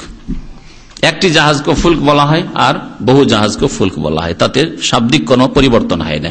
ক্ষেত্র বিশেষে আপনাকে বুঝতে হবে যে এখানে এক বচন ব্যবহৃত হয়েছে না বহু বচন ব্যবহৃত হয়েছে। ওয়াহিদ না জামা। আল্লাহ পাক বলছেন যে মিনাল ফুলকি আর তোমাদের জন্য আল্লাহ সৃষ্টি করেছেন পানি জাহাজ। নৌজান ওয়াল আন আম আর গবাদি পশু, মা তার কাবন এমন এমন আল্লাহ সৃষ্টি করেছেন, মা তার কাবন যেসবের ওপর তোমরা আরোহণ করে থাকো, পানি জাহাজে চড়ে থাকো, আর পানি পথে তোমরা সফর করে থাকো, ভ্রমণ করে থাকো, আর তোমরা গবাদি পশুর মধ্যে অনেক পশু আছে যেগুলি তোমাদের যানবাহন যোগ্য যেমন উটের পিঠে চড়ো, ঘোড়ার পিঠে চড়ো হ্যাঁ অনেকে হাতির পিঠে চড়ে। মা তার কাবন, যার উপর তোমরা সবার হয়ে থাকো, আরোহণ করে থাকো। খালাকাল আজওয়াজাকুল্লাহর আরেকটি তফসি যেটা বেশি স্পষ্ট। ওয়াল্লাদি খালাকাল আজওয়াজাকুল, আল্লাহ সেই সত্তা যিনি প্রত্যেক বস্তুকে, কুল্লাহা, সমস্ত জিনিসকে জোড়া জোড়া সৃষ্টি করেছেন। সমস্ত জিনিসকে জোড়া জোড়া সৃষ্টি করেছেন। কখনো ভাবেন না যে আমাদেরকে শুধু জোড়া জোড়া করেছেন, নারী আর পুরুষ হ্যাঁ? বা যেগুলি হাইওয়ানাথ আজ সবের প্রাণ আছে মানে জীব আছে জীবন আছে, মানুষ ছাড়াও যেমন গরু, ছাগল ইত্যাদি, এগুলি জোড়া জোড়া এটা তো বুঝতেই পারছেন, তাই না? আল্লাহ পাক গাছপালাকেও জোড়া জোড়া সৃষ্টি করেছেন। খালাকাল আজওয়াজা কুল্লাহ, সমস্ত সৃষ্টিকে আল্লাহ জোড়া জোড়া সৃষ্টি করেছেন। গাছের মধ্যে নর আর মাদি আছে, পুরুষ লিঙ্গ স্ত্রীলিঙ্গ আছে। আল্লাহ পাক রব্বুল আলম প্রত্যেক জিনিসকে, এমনকি তাফসির কারগন বলেছেন? আল্লাহ সূর্য সৃষ্টি করে, চন্দ্র সৃষ্টি করেছেন। রাত সৃষ্টি করেছেন, দিন সৃষ্টি করেছেন, এটা হচ্ছে জোড়া তার। আলো সৃষ্টি করেছেন, অন্ধকার সৃষ্টি করেছেন।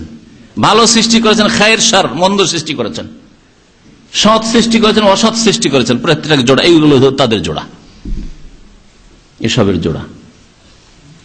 গাছপালার মধ্যে। এমন কি অনেকে বলেছেন যে উদ্ভিদ ছাড়া, গাছপালা ছাড়া যেগুলি পদার্থ, পাথর হ্যাঁ স্বর্ণ, চাঁদি ইত্যাদি, ধাতু এগুলোতে আল্লাহ ফাকরবুল আলমিন জোড়া জোড়া সৃষ্টি করেছেন।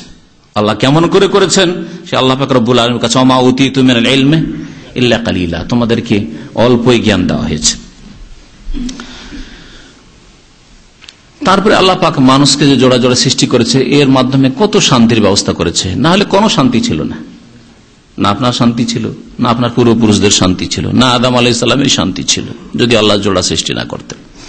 না পুরুষের শান্তি ছিল, না নারীরই শান্তি ছিল। আল্লাহ পাক তারপরে সাদ করছেন, লেতাস্তাউ আলা জহুরিহি। আল্লাহ তোমাদের জন্য নৌজান সৃষ্টি করেছেন। তারপর তোমাদের গবাদি পশু সৃষ্টি করেছেন। তাতে তোমরা আরোহণ করবে। যাতে করে লেতাস্তাউ আলা জহুরেহি, তার পিঠে বা এসবের পিঠে তোমরা স্থির হয়ে বসতে পারো। লেস্তাস্তাউ ইস্তওয়া মানে সমাসীন হওয়া। সম্মাস্তাওয়া আলাল আস ইস্তাওয়া। যাতে করে এর পিঠে তোমার যে যানবাহন, উঠ হোক, অথবা তুমি পানি জাহাজ হোক, অথবা উড়ো জাহাজ হোক আজকালকার জমানায়। আল্লাহ তাহলে উড়ো জাহাজের কথা বলেননি, এখানে শুধু বলেছেন, নৌযানের কথা, পানিপথের কথা বলে পানিপথে তোমাদের জন্য যানবাহন আছে।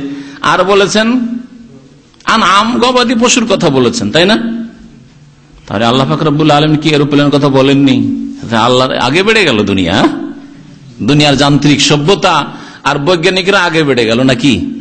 না, আল্লাহ তাও উল্লেখ করেছেন। একটি আয়ত রয়েছে বেগালা হামিরা লেতার কাবুহা মালা আল্লাহ বলছেন আমি ঘোড়া সৃষ্টি করেছি। অল বেগা আলা খচ্চর সৃষ্টি করেছি। অনেকে খচ্চর বুঝে না হ্যাঁ? বুঝেন না বুঝেন না? কিছু লোক বলে বুঝি আসতে করে এই জন্য। ওয়াল হামিরা, আর গাধা? খচ্চর গাধা? না, খচ্চর গাধায় পার্থক্য আছে। ওয়াল হামিরা, আর গাধা সৃষ্টি করেছি। লেতার কাবুহা, তোমাদের আরোহণ করার জন্য সওয়ারির জন্য। ঘোড়ার পিঠে চড়বে, খচ্চরের পিঠে চড়বে, গাধার পিঠে চড়বে। গাধা চাইতে একটু উঁচু হচ্ছে খচ্চর, আর খচ্চরের চাইতে উঁচু হচ্ছে ঘোড়া।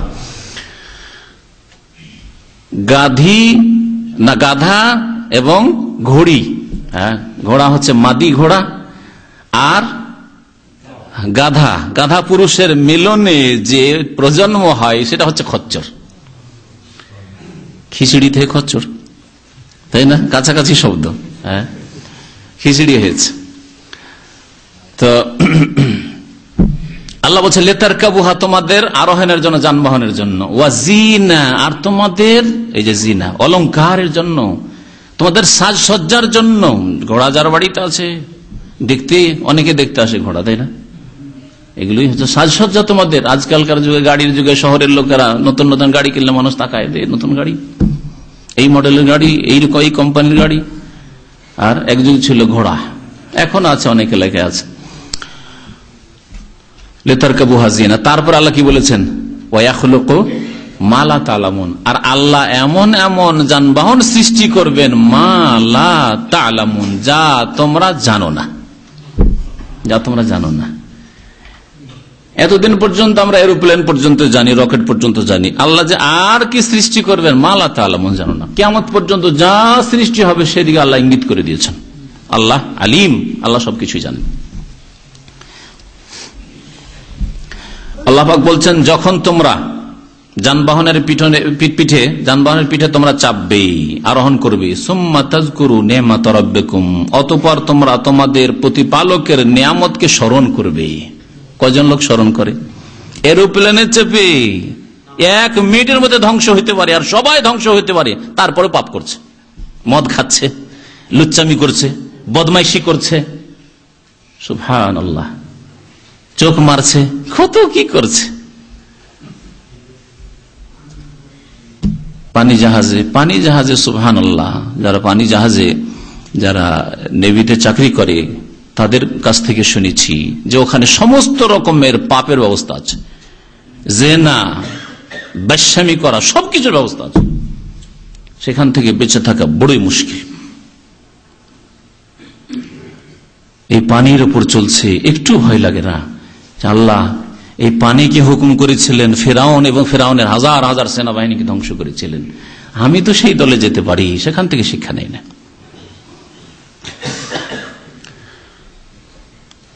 আল্লাহ ফাকরাবুল আলমিন এরশাদ করছেন যে, তোমার রবের নিয়ামত স্মরণ করো। নিয়ামত স্মরণ করা মানে শুধু গুনা থেকে বেঁচে থাকা না গুনা থেকে তো বাঁচবেন, কিন্তু আল্লাহ পাকের কত বড় নিয়ামত?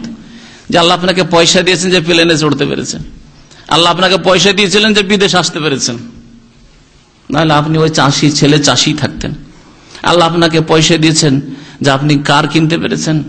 গাড়িতে বসে আল্লাহ শুক্রিয়া আদায় করেন। আপনাকে পয়সা দিয়েছেন যে আপনি গাড়ির টিকিটটা নিতে পেরেছেন, বাসের টিকিটটা নিতে পেরেছেন। নাহলে পায়ে হেঁটে, অনেকে পায়ে হেঁটে যাচ্ছে। আল্লাহ আপনাকে পয়সা দিয়েছেন, রিক্সায় চাপতে পেরেছেন। আর আপনার সামনে একটা লোক রিক্সা টানছে। রিক্সা এসে চড়েনি, রিক্সা টানছে সে। সম্মাতাজ করুন নিয়ামত রব্বিকুম। অতপর তোমাদের রবের নিয়ামতকে স্মরণ করো যে আল্লাহ পাকের কত বড় নিয়ামত তোমার উপর। আলিহে যখন তুমি স্থির হয়ে বসবে যানবাহনে। এবং তোমরা এই দোয়া বলবে এই কথা বলবে। মন্ত্রের মতো বলবে না, অর্থ বুঝে বলবে, অন্তর থেকে বলবে। আল্লাহ বলতে বলছেন মানে অন্তর থেকে বলতে বলছেন। শুধু দোয়া পড়া, আমাদের দেশীয় দোয়া পড়া নয়। অর্থ বুঝেন কত সুন্দর অর্থ। আল্লাহ বলছেন, বলবে সুবহান পাক পবিত্র সেই মহান জাত, মহান সত্তা, যিনি আমাদের জন্য এই যানবাহনকে বশীভূত করে দিয়েছেন, অধীনস্থ করে দিয়েছেন সাক্ষারা আমাদের আয়ত্তে করে দিয়েছেন। যে কোনো ভাষায় ব্যক্ত করতে পারেন আপনি। আপনার আয়ত্ত যদি আপনার যানবাহন না হইতো ব্যালেন্সলেস হয়ে গেল। সুহান আল্লাহ গাড়ি আর ব্রেক ধরেই না, ব্রেক ধরেই না। যদি এরকম হয়েছে কি অবস্থা হইতো আপনার? যদি এরোপ্লেনে সফর করছেন আর যান্ত্রিক গোলযোগ শুরু হয়ে গেল সাক্ষার আলানা হাজার হইল না। আপনার যদি আয়ত্তে না থাকে, আপনার পাইলটের আয়ত্তে যদি না থাকে, কি করবেন আপনি? সুহান সাক্ষার হাজা। এইরকম পানি জাহাজ, এই কোনো এইরকম যে কোনো যানবাহন। পাক পবিত্র, পবিত্রতা ঘোষণা করছি, সেই সত্তার, সাক্ষার আলানা হাজা যিনি এই যানবাহনকে আমাদের জন্য কি করেছেন? বশীভূত করেছেন। ওমা কন্যা লাহ মকরে নিন আর আমরা এই যানবাহনকে আয়ত্তে করার মতো ক্ষমতা রাখতাম না। আমাদের কাছে এই যানবাহনকে বশীভূত করার মতো ক্ষমতা নেই। ওমা কুনাল মকরে নিন সাক্ষারা মানেও আয়ত্তে করা, তার বশীভূত করা, আর মকরেন মুকরে নিন বহু বচন এর মানে হচ্ছে বশীভূত করা। আর মনে রাখবে যে যতই উঁচাই চলে যা না কেন, যতই দামি যানবাহনা চাপো না কেন, একদিন রবের কাছে ফিরে যেতে হবে। যতই দামি গাড়িতে চাপেন না কেন, আর যতই রাত দিন আপনি এরোপ্লেনে সফর করেন না, সারা দুনিয়ার এক বছরের মধ্যে হাজার হাজার মাইল, লাখ লাখ মাইল সফর করছেন। অনেকে আছে এরকম। রাত দিন ওর সফরই হচ্ছে এরোপ্লেন এরোপ্লেনে সফর। যতই বড় মানুষ হয়ে যাও না কেন, ওয়া ইন্না ইলা রব্বিনা লামুন কালিবুন আর নিশ্চয় আমরা আমাদের প্রতিপালক রবের কাছে অবশ্যই ফিরে যাব লামুন কালিবুন একদিন ফিরে যেতে হবে। এমন কোন মানুষ আছে যাকে যেতে হয়নি? অনেকে তো গাড়ি ঘোড়ায় চড়েছে। অনেকে তো খুব ভোগ বিলাস করেছে, আরামের জীবন যাপন করেছে। যেতে হয়নি, সবকে যেতে হয়েছে যেতে হয়েছে। তাহলে এই দোয়া পড়বেন অর্থ বুঝে। অর্থ শুনলেন না? অর্থটা আরও বাংলা কোরআন দেখে ভালো করে মুখস্থ করে নেবেন আর অন্তর থেকে পড়বেন যখন বলেন সুহান হাজা আল্লাহ যদি এটাকে আমাদের আয়ত্তে না করে দিতেন, তাহলে আমাদের কোনো ক্ষমতা ছিল না। এবং যে আল্লাহ আমাদের বশীভূত করেছেন, তিনি সমস্ত দোষ, ত্রুটি, দুর্বলতা, ঘাটতি থেকে মুক্ত, তার পবিত্রতা ঘোষণা করেছে। তিনি সর্বশক্তিমান। ওয়াজা আলু আলহমিন এবাদিহি জুজআন প্রসঙ্গ পরিবর্তন হয়ে যাচ্ছে। এখন আল্লাহ পাক উল্লেখ করছেন এমন একটি বিষয়, যেটা হচ্ছে আল্লাহ পাকের সন্তান সন্ততির মিথ্যা অপবাদ। আল্লাহ ছেলে মেয়ে আছে। এই যে কাফের মুশ্রেকদের মিথ্যা অপবাদ, আল্লাহ পাক রব্বুল আলমিনের সানে সে সম্পর্কে আল্লাহ বলছেন ওয়াজা আলু আলহমিন এবাদিহি জুজআন এই কাফের মুশ্রিকরা পাপিষ্টরা আল্লাহর বান্দাদের মধ্য থেকে মিনেবাদী তার বান্দাদের মধ্য থেকে তার অংশ স্থির করেছে, অংশ সাব্যস্ত করেছে। আল্লাহ পাকের ছেলে সাব্যস্ত করা অথবা আল্লাহ পাকের মেয়ে সাব্যস্ত করা, আল্লাহ পাকের অংশ সাব্যস্ত করা নয়। কারণ আপনার ছেলের মধ্যে আপনার অংশ আছে। হ্যাঁ? ওই রকমই যে বলবে যে আল্লাহ পাকের সন্তান সন্ততি আছে, ছেলে মেয়ে আছে। আল্লাহ পাক ছেলে মেয়ে গ্রহণ করেছেন, সেই ব্যক্তি আল্লাহ পাকের অংশ হ্যাঁ শরিক সাব্যস্ত করল। তারপরে ছেলে মেয়ে, বাবার ধন সম্পদে প্রপার্টিতে অংশীদার হয়। তাহলে আল্লাহ পাকের যদি ছেলে মেয়ে থাকে, তাহলে তার আল্লাহ পাকের ক্ষমতায় অংশীদার। কত বড় শির্ক। এখানে বোঝানো হয়েছে, ওই সব লোকদেরকে, তার মধ্যে একদল হচ্ছে খ্রিস্টানরা। হ্যাঁ যারা ঈসা আলি সালামকে আবদুল্লাহর জায়গায়, আল্লাহ পাকের বান্দার জায়গায় ইবনুল্লাহ করে যে আল্লাহর পুত্র বানিয়ে দিয়েছে। তাদেরকে বলা হয়েছে যে, কত বড় মিথ্যা অপবাদ দিয়েছ তোমরা। আর বলা হয়েছে, আরবের মুশ্রেকদেরকে, আরবদের, আরবের মুশ্রেকদের কুফুরি ধারণা ছিল সিরকি ধারণা ছিল যে ফেরেস্তা আছে মালাইকা আছে, কিন্তু মালাইকা হচ্ছে আল্লাহর কন্যা, আল্লাহ পাকের মেয়েরা এরা। আল মালায়কা তো বানাতুল্লাহ। আল্লাহর কন্যা, এগুলি কন্যা সন্তান। আল্লাহ পাক রব্বুল আলম এইরকম ইয়াহুদিরা বলতো কালাতিল ইয়াহুদ ওজাইরুল্লাহ ওজাইর আল্লাহর পুত্র। তাহলে ইয়াহুদিদেরকে, খ্রিস্টানদেরকে, আর আরব মুশ্রেকদেরকে সবাইকে উদ্দেশ্য করে আল্লাহ বলছেন যে, এর আল্লাহ পাকের বান্দাদের মধ্যে আল্লাহর বান্দা ফেরেস্তা আল্লাহর বান্দা। ঈসা আলি সালাম আল্লাহর বান্দা ওজাইর আল্লাহর বান্দা, সব আল্লাহর বান্দা। আল্লাহ দাস, আল্লাহর গোলাম। এগুলিকে আল্লাহ পাকের অংশ সাব্যস্ত করেছে তারা। ইন্নাল ইনসান আল্লাহ কাফুর মুবিন। নিশ্চয় মানুষ হচ্ছে অবশ্যই বড় কুফুরিকারী আর মুবিন। কাফুর মুবিন অবশ্যই স্পষ্ট কুফুরিকারী। হ্যাঁ? এইরকমই যেসব বিদাতিরা বলে যে, নবী আল্লাহর নূরে পয়দা। নবী? আল্লাহ নূর বলে তারা তারা শুধু নূর বলে না কি বলে? হ্যাঁ, আনা এটা জাল হাদিস তারা মিলাদের কিতাবে তারা লিখে। কোন এর সনদ নেই কোনো কিছু নেই আর কোন হাদিসের কিতাবে নেই। শুধু এই ভণ্ডদের মিলাদি কিতাবে পাবেন। আউ্লামা খালাক আল্লাহ নুরি প্রথম আল্লাহ আমার নূর সৃষ্টি করলেন। অকুল্লুল খালাক মিন নুরিয়া সমস্ত সৃষ্টিকে আমার নূর থেকে সমস্ত সৃষ্টির মধ্যে মানুষ হ্যাঁ জিন, শয়তান সবগুলি কুল্লুল খালাক তাই না? তাহলে এই জাল হাদিসের অর্থ যদি ঠিক মেনে নিই, তাহলে সমস্ত সৃষ্টি নবীন নূরে, তাহলে শুধু নবী একা কোথায় নূরের থাকলাম? আমরা তো নূরের হইলাম হ্যাঁ? শুধু আমরাই কোথায় নূরের থাকলাম? জিন শৈতানও তো নূরের কুল্লুল খালায়ক কুকুর শ্রীগাল শুকুর, বাঁদর, সব তো নূরের হইল কুল্লুল খালায়ক মিন নুরি। সমস্ত সৃষ্টি আমার নূরের। ও আনা মিন নুরিল্লাহ। আমি আল্লাহর নূরের।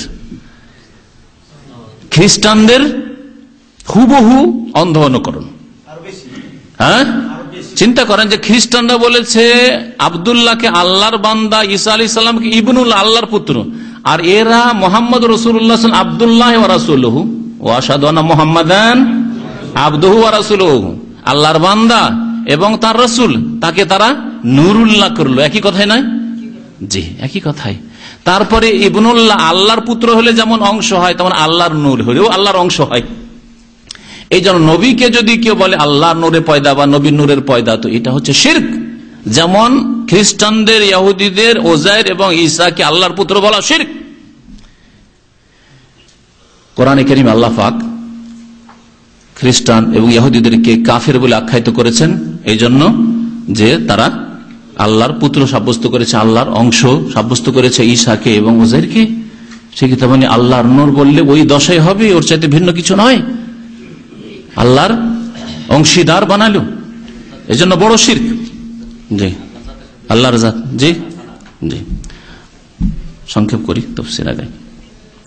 তো আল্লাহ ফাকরাবুল আলমিন তারপরে বলছেন যে ইন্দাল ইনসান আল্লাহ কাফুর মবি নিশ্চয় মানুষ মানে অধিকাংশ মানুষ মানুষের আসল স্বভাব।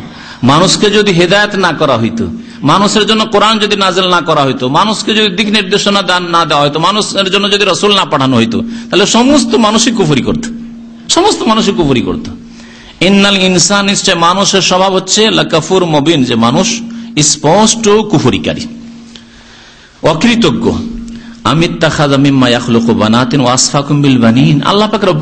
বিচার করতে বলছেন এখন মানুষকে মানুষের মধ্যে জ্ঞানবান যারা, বুদ্ধিমান তাদেরকে আল্লাহ বিচার বিবেচনা করতে বলছেন। যে আচ্ছা আশ্চর্য কথা। আমির তাখাদামিমায়াখলোকবানাত আল্লাহ যা সৃষ্টি করলেন, তার মধ্য থেকে আল্লাহ ছেলেও সৃষ্টি করলেন আর মেয়ে সন্তানও সৃষ্টি করলেন। নিজের জন্য যা আল্লাহ সৃষ্টি করেছেন, তা থেকে আল্লাহ গ্রহণ করলে ইত্তাখাদা মানে গ্রহণ করা। গ্রহণ করলেন বানাতিন মেয়েদেরকে শুধু। আরব মুশ্রেকদের সম্পর্কে বলা হয়েছে, হে আরব মুশ্রেকা তোমার হচ্ছে মালায়কা ফেরেস্তা হচ্ছে আল্লাহর বেটি, আল্লাহর মেয়ে। তাহলে আল্লাহ পাক শুধু মেয়েগুলি নিলেন। ও আসফা কুম্বিল বানিন, আর তোমাদেরকে মনোনীত করলেন ছেলে সন্তান দিয়ে? কতই বড় সম্মানিত তোমরা। দিলেন ছেলেও আল্লাহর মেয়ে দিলেন আল্লাহ, কিন্তু মেয়েগুলো আল্লাহ নিজের জন্য রাখলেন, আর ছেলেগুলি তোমাদের দিয়ে দিলেন। অথচ তোমাদের কাছে বিবেক বিবেচনা হচ্ছে যে তোমরা মেয়েকে নিজের জন্য কখনো পছন্দ করো না। তোমাদের ঘরে মেয়ে হলে মেয়েকে জীবন্ত দাফন করে দাও, মেয়েকে দেখতেই চাও না তোমরা। তো তোমাদের সমাজে সামাজিক যে অবস্থা, তাতে মেয়েদেরকে তোমরা নিকৃষ্ট মনে করছ, দেখতেই চাও না, বরদাস্ত করতে পারো না। আর ছেলেদের কি খুব ভালোবাসো, আর ছেলেদের খুব আদর করো। হ্যাঁ ছেলেদের সম্পর্কে বড় বড় আশা, আকাঙ্ক্ষা তোমাদের আছে। আল্লাহ পাক নিজে সৃষ্টি করে, যেটা তোমাদের দৃষ্টিতে যেটা নিকৃষ্ট, সেটা নিজের জন্য রাখলেন, আর উৎকৃষ্টটা তোমাদেরকে দিলেন। এটা কেমন কথা হইল? যদি আল্লাহর ছেলে মেয়ে থাকতো, তো মানুষ ছেলে মেয়ে দুটোই ভালোবাসে তো। কটা ছেলেও রাখতেন, কটা মেয়েও রাখতেন হ্যাঁ? আর অসংখ্য লাখ লাখ, কোটি কোটি ফেরেস্তা সবগুলি আল্লাহর মেয়ে। আর সব ছেলে তোমাদের? তোমরা ছেলে পছন্দ করো? কেমন কথা? তারপর আল্লাহ বলছেন, ওয়াইদা বুশের আহদম বিমা দারাব আলীর রহমান মাসালা, জাল্লা অথচ মেয়ে সন্তান যদি তোমাদের ঘরে জন্মে, তা তোমাদের চরিত্র এত খারাপ, তোমাদের সামাজিক অবস্থা এত অধপতনে গেছে যে, ওয়াইদা বুশের আহাদহম এই মুশরেকদের কাউকে যদি সুসংবাদ দেওয়া হইতো, বেমা এমন সন্তানের, অর্থাৎ মেয়ে সন্তানের জারাব আলীর রহমান যা তারা বর্ণনা করেছে আল্লাহ পাক রহমানের জন্য যে আল্লাহ পাকের মেয়ে রয়েছে। তা আল্লাহ পাকের মেয়ে রয়েছে কথা বলছো। এটা যদি তোমার ঘরে জন্মেছে, এই সংবাদ তোমাদেরকে দেওয়া হইতো। মাসালান, এই দৃষ্টান্ত, তাহলে জাল্লা ওয়াজহু তাহলে তার চেহারা বা তাদের চেহারা কালো হয়ে যেত। তাদের, তার চেহারায় কালি মাছ হয়ে যেত। আরবরা তো ব্যবসায়ী, মক্কার বা মক্কার আশেপাশের লোকেরা ব্যবসায়ী লোক ছিল। তো ব্যবসা বাণিজ্যে যেত, আর তারপরে রাস্তাতে আসছে, ওখানে কারোর সাথে দেখা হয়ে গেল, আর ঘরে মেয়ে জন্মেছে। রাস্তায় যদি কেউ খবর দিয়ে দিত, তোমার ঘরে মেয়ে জন্মেছে? সাথে সাথে, মুখটা একবারে কালো, কোথায় যে যাবি? আয়ম সে কহু আল্লাহ হুনিন আমি তোরাব। আল্লাহ কোরআন অন্য আয়তে বলছেন যে, এই মেয়েকে তাদের এই রকম সামাজিক অবস্থা ছিল কুসংস্কার, এই পাপ। যে এই মেয়েকে যে মেয়ে সংবাদ আমাকে দেওয়া হলো, বাড়ি গিয়ে এটাকে এই লাঞ্ছনা নিয়ে ভর্সনা নিয়ে লোকেরা বলবে, আরে, তোমার ঘরে মেয়ে হয়েছে তোমার ঘরে মেয়ে হয়েছে এই লাঞ্ছনা শুনে থাকব, মুখটা লুকিয়ে, না, আমি ফিতরাব নাকি একে মাটিতে পুঁতে দেব? চিন্তায় পড়ে যেত, কি করব? রাখব বড় লাঞ্ছনা। আর না হলে পুঁতে দিতে হয়। এই ছিল তাদের অবস্থা। আর যে মেয়েকে তোমরা জীবন্ত দফন করে দেয় সে মেয়ে আল্লাহর জন্য তোমরা নির্ধারিত করছ যে আল্লাহর জন্য মেয়ে রয়েছে।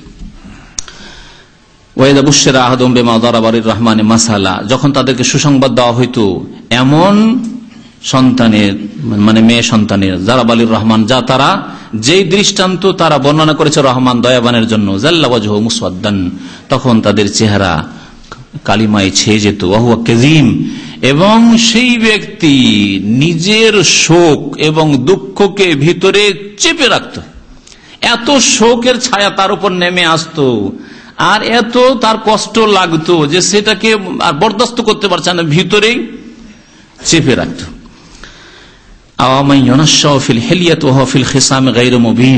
আল্লাহ ফাকরাবুল আলমিন মেয়েদের আর দুটি বৈশিষ্ট্য উল্লেখ করেছেন যে মেয়েরা যে দুর্বল বিভিন্ন দিক থেকে মেয়েরাজ, মেয়ে সন্তান, ছেলে সন্তান চাইতে দুর্বল, তার দুটি দিক আল্লাহ এখানে উল্লেখ করেছেন। আওয়ামাই ইয়োনাশাফিল হিলিয়া। আচ্ছা এমন মেয়ে সন্তান আল্লাহ গ্রহণ করবেন, যারা লালিত পালিত হয় ফিল হেলিয়াতে। হেলিয়াতে মানে অলঙ্কারে। মেয়েরা একটু বুঝতে শিখলেই অলঙ্কার প্রিয় হয়ে ওঠে মেয়েদের মধ্যে শারীরিক গঠনের দিক থেকে বুদ্ধির দিক থেকে দুর্বলতা যা আছে, সেই দুর্বলতা কাটিয়ে উঠানোর জন্য তারা অলঙ্কারে লালিত পালিত হতে চায়, সাজতে চায়। এমন মানসিকতা তৈরি হয়। দেখবেন পাঁচ বছর, সাত বছর, আট বছর, দশ বছর মেয়ে হইতে এখন স্বর্ণের দামও বুঝে না, সস্তা নাকি? স্বর্ণ রূপার পার্থক্য কি রেটে তাও জানে না, কিন্তু গয়না চায়, অলঙ্কার চায় তাই না? জি। সাজতে চাই এটা তাদের ফিতরাতে তার নেচারে রাখা আছে। আল্লাহ বলছেন যে, এই রকম আল্লাহ পাক মেয়ে সন্তান গ্রহণ করলেন যারা লালিত পালিত হয় অলঙ্কারে মবিন। আর যদি তর্ক বিতর্ক কোথাও শুরু হয়, ফিল খেসাম, তর্ক বিতর্কে নিজের কথা, নিজের বক্তব্য স্পষ্ট করতে সক্ষম হয় না। মেয়েরাকে দেখেছেন ঝগড়া করতে, তর্ক করতে? যারা স্বামী স্ত্রী ঝগড়া করে, কেউ তো এখানে বলবেন না যে ঝগড়া করি স্বামী স্ত্রী, কিন্তু যারা ঝগড়া করে, তারা ভালো করে জানে। স্বামী স্ত্রী ঝগড়া শুরু হয়। আপনি বলছেন এক কথা, আপনার উত্তর দিচ্ছে আর এক কথা বললে। তর্ক, বিতর্ক তর্ক, বিতর্ক হ্যাঁ? কথা বলছেন, কথার উত্তর। ও কথা বলছে, আপনি উত্তর দিচ্ছেন। এই করতে করতে কিছুক্ষণ পরে দেখবেন হাও মাও করে আপনার স্ত্রী কান্না শুরু করে দিয়েছে। আপনি কখনো কাঁদেননি? ঠিক না? ঝগড়া করতে গিয়ে, তর্ক করতে গিয়ে আল্লাহ বলছেন, ফিল খেসামে, নিজের কথাকে ব্যক্ত করতে পারে না। এই শক্তি তাদেরকে দেওয়া হয়নি। নিজের কথা স্পষ্ট করতে পারেন না কিছুক্ষণ পরে কান্নায় ভেঙে পড়ে। কেঁদে জিততে চায় তখন মামলা। না, দেখেননি এরকম? মহিলাদের কাঁদতে দেখেছেন?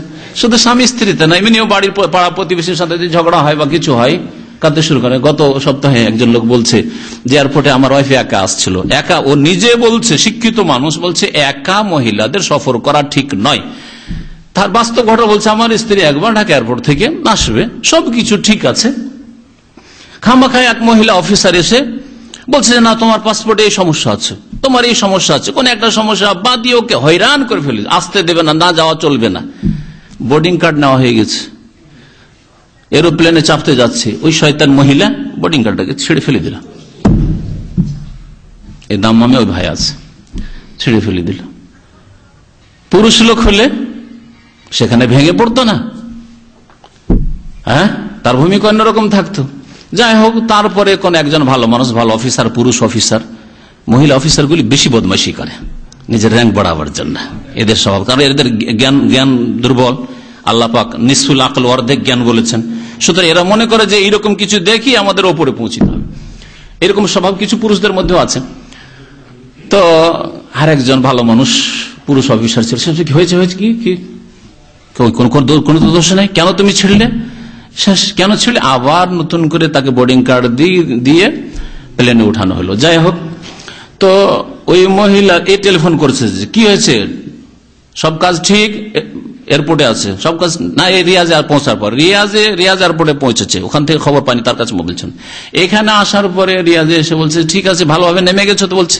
কথা বলবে কেউ মহিলা, কান্না শুরু করেছে মোবাইল। কান্না শুরু করেছে। দেখলেন একজন পুরুষ মানুষ কান্না শুরু করতেন না। আমার বোর্ডিং কার্ড ছেড়ে ফেলেছে। করে কান্না শুরু করতেন। কখনো করতেন না আপনি। কিন্তু মহিলা কান্না শুরু করেছে। অথচ মহিলা বড় শিক্ষিতা। এমন নয় যে অশিক্ষিতা ক্লাস ফোর পাস হয়তো বিএ পাস বা এম এ পাস কমপক্ষে সেই মহিলা, যতটুকু তারপরে এই অবস্থা। আল্লাহ পাক তাদের ফিতরাতের কথা ভালো করে জানে যাকে আল্লাহ সৃষ্টি করেছেন। তো আল্লাহ পাক শুধু মেয়ে সন্তান নিলেন। যারা একটু ঝগড়া, তর্ক শুরু হলে কাঁদতে শুরু করবে। মেয়ে সন্তান, ছেলে সন্তান আল্লাহ নিলেন না নিজের জন্য?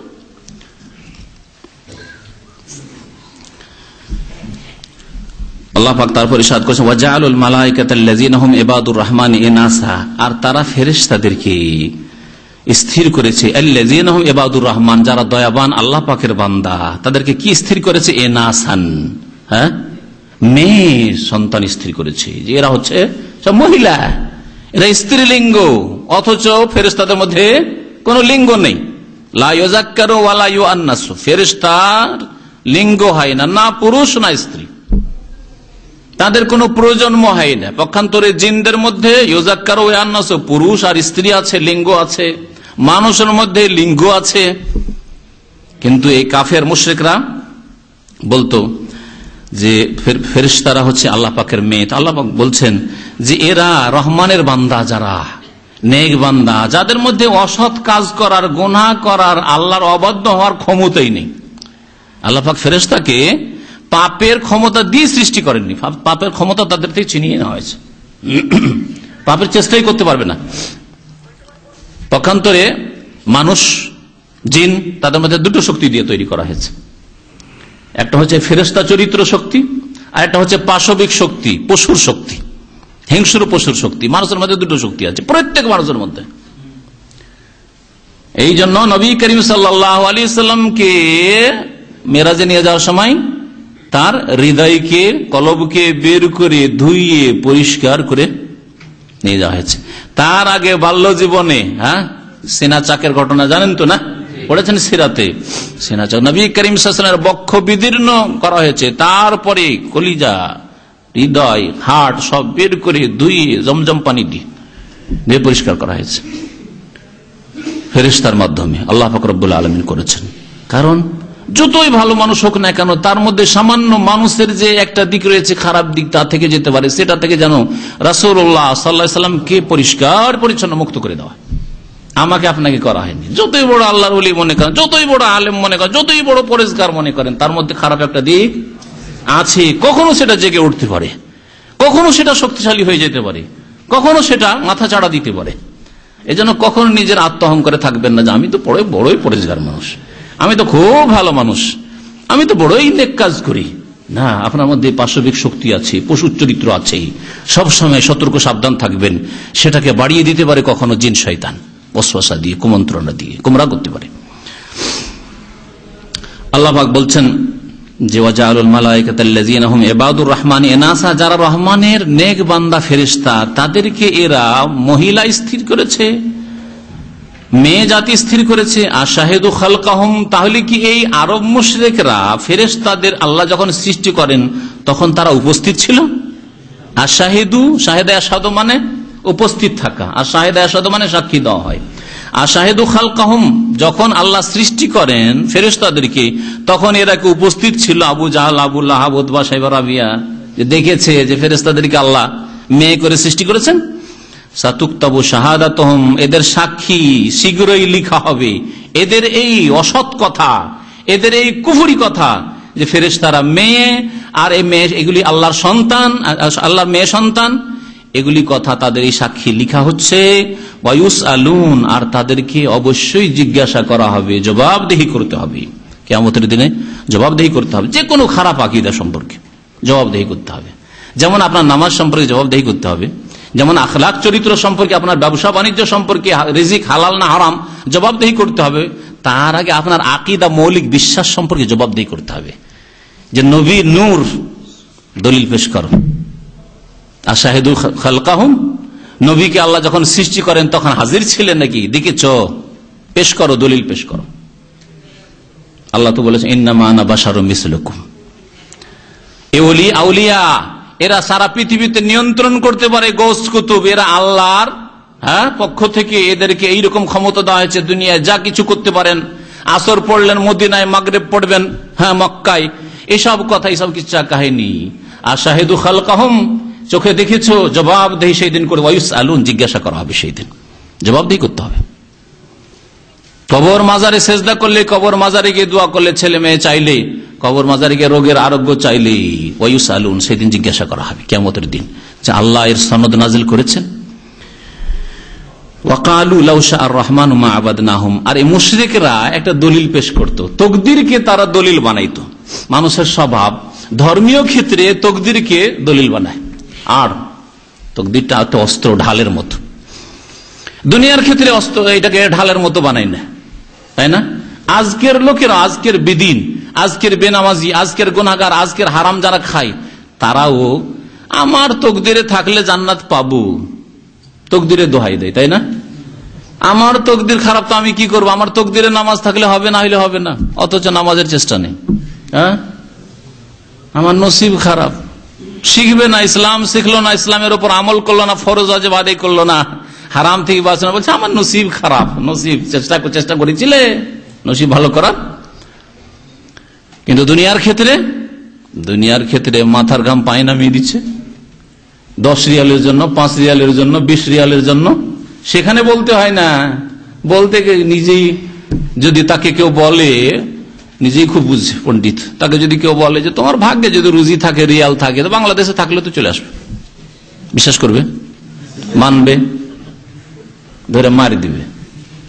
আমাকে তো সৌদি আরব যেতে দিবে না না? হিংসা আছে, না দুশ্মনী আছে আমার সাথে? আরে তোমার তকদিরে থাকলে ভিসাও লাগবে না, পাসপোর্টও লাগবে না, কিছুই লাগবে না। ভাগ্যে থাকলে রিয়াল ডলার এমনিতে চলে আসবে, তুমি বাড়িতে ঘুমাও। যদি কেউ বলে, ধরে মারবে তাকে, তাই না? ছেড়ে দিবে না তাকে। বড়ই হিংসুক তুমি, বড়ই দুশ্মন, আমাকে উন্নতি করতে দেবে না। আর নামাজের ক্ষেত্রে, ধর্মের ক্ষেত্রে, জান্নাতের ক্ষেত্রে, জাহান্নামের ক্ষেত্রে যখন বলছে, আমল করো বলছে যে তকদিরে থাকলে হয়ে যাবে। নসিব ভালো থাকলে হয়ে যাবে। সুহান আল্লাহ এই কাফের শয়তানদের চরিত্র এটা। কাফেররা কি বলতো দেখেন? ওয়াকালু, তারা বলতো লাউসা রহমান মা আবাদ নাহম আল্লাহ দয়াবান যদি চাইতেন, মা আবাদ নাহম তাহলে আমরা এই দেব দেবীর পূজা করতাম না। পূজা করতাম আল্লাহ চাইলে আল্লাহ কেন লাগাইলেন? আল্লাহ লাগিয়েছে না? তোমরা তোমরা আল্লাহ ছেড়ে দিয়েছে। দুনিয়া তাল্লাহ স্বাধীন ছেড়ে দিয়েছেন মানুষ প্রত্যেকে শুধু কোরআন হাদিস বলছে না, নিজে নিজে অনুভব করছে যে আমি স্বাধীন, তাই না? আমার হাত খান যে আগে বাড়ছে, পিছনে যাচ্ছে, ঝুঁকাচ্ছি বা রাখছি, স্বাধীন না স্বাধীন নই স্বাধীন। একজন রুগী যা থর থর করে কাঁপছে, সে স্বাধীন নয়। আমরা কি সেই রকম? ওই রুগীর মতো কখনো না।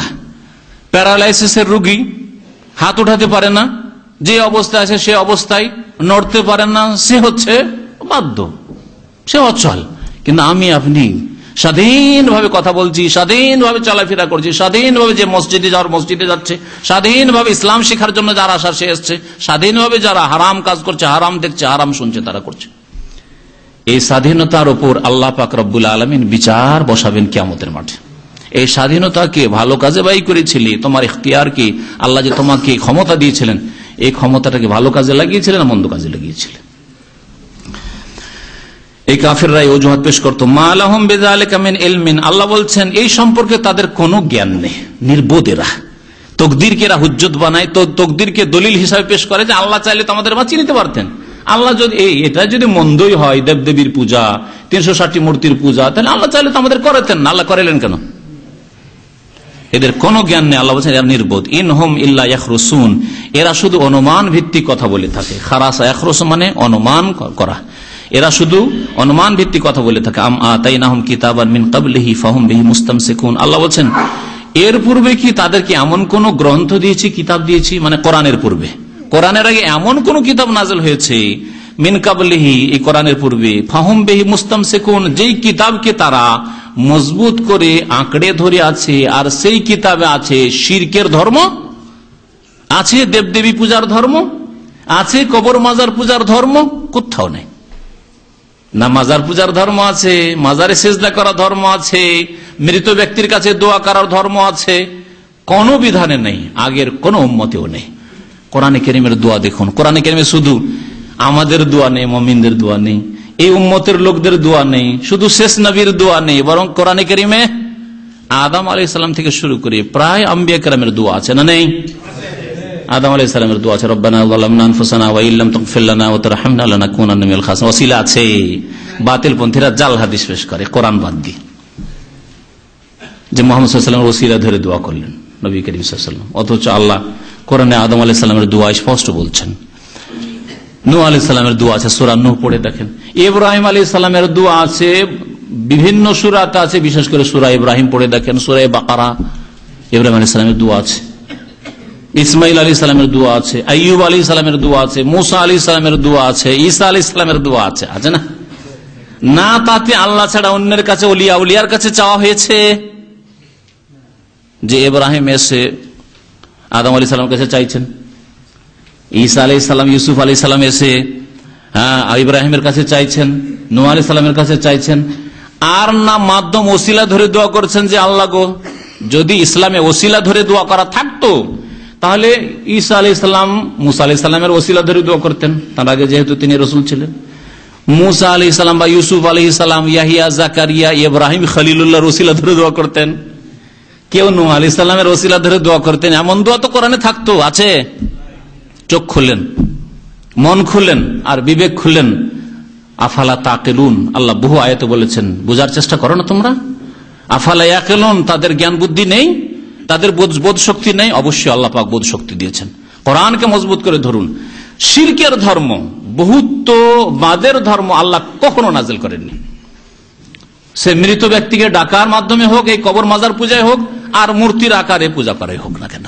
আল্লাহ পাক শির্কের ধর্ম কখনো নাজেল করেননি। আল্লাহ পাক যে কোনো দিন নাজেল করেছেন আদম আলি ইসলাম থেকে শুরু করে মোহাম্মদ রসুল্লাহাম পর্যন্ত সবগুলি হচ্ছে তৌহিদের দিন, আল্লাহর একত্রের ধর্ম। আল্লাহ বলছেন, বল কালু ইন্না আবা আনা আলা আসলে মুশরিকদের কাছে কোনো দলিল প্রমাণ থাকে না। তাদের দলিল প্রমাণ কি? বাপদাদা পূর্বপুরুষ। বরং তারা বলতো, ইন্না ওয়াজাদানা আবা আনা আলা আমাদের পূর্বপুরুষদেরকে আমরা এক ধর্মের উপর পেয়েছি। এখানে উম্মাতুন মানে মিল্লাতিন। উম্মা মানে মিল্লাত বা দিন। এই অর্থে, আমরা এক তরিকার ওপর আমাদের বাপদাদাদেরকে পেয়েছি। আর আমরা তাদের পদাঙ্কের অনুসরণ করে হৃদায়ত প্রাপ্ত হব। আমরা তাদের পিছনে পিছনে চলব।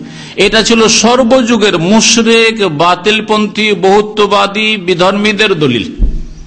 যত বাতিলপন্থী, তাদের দলিল হচ্ছে বাপদাদা, সে ভাষাটা বিভিন্ন ভাষা ব্যবহার করতে পারে। তারা বলতো, আবানা আমাদের আজকালকার লোকেরা বলে বুজরুগানের দিন। আমাদের বুজরুগানের দিন বলেছেন, মুরব্বীরা বলেছেন, এটা হচ্ছে যত অন্ধ কোরআন এবং বাদ দিয়ে যারা অন্য কোন দিন মানতে চায় তাদের দলিল। আর বাকি যারা আল্লাহর সত্য দিন মানতে চায় তাদের দলিল, কাল আল্লাহ আল্লাহ পাক কি বলেছেন? কালা রসুল রসুল্লাহ সাল্লাম কি বলেছেন?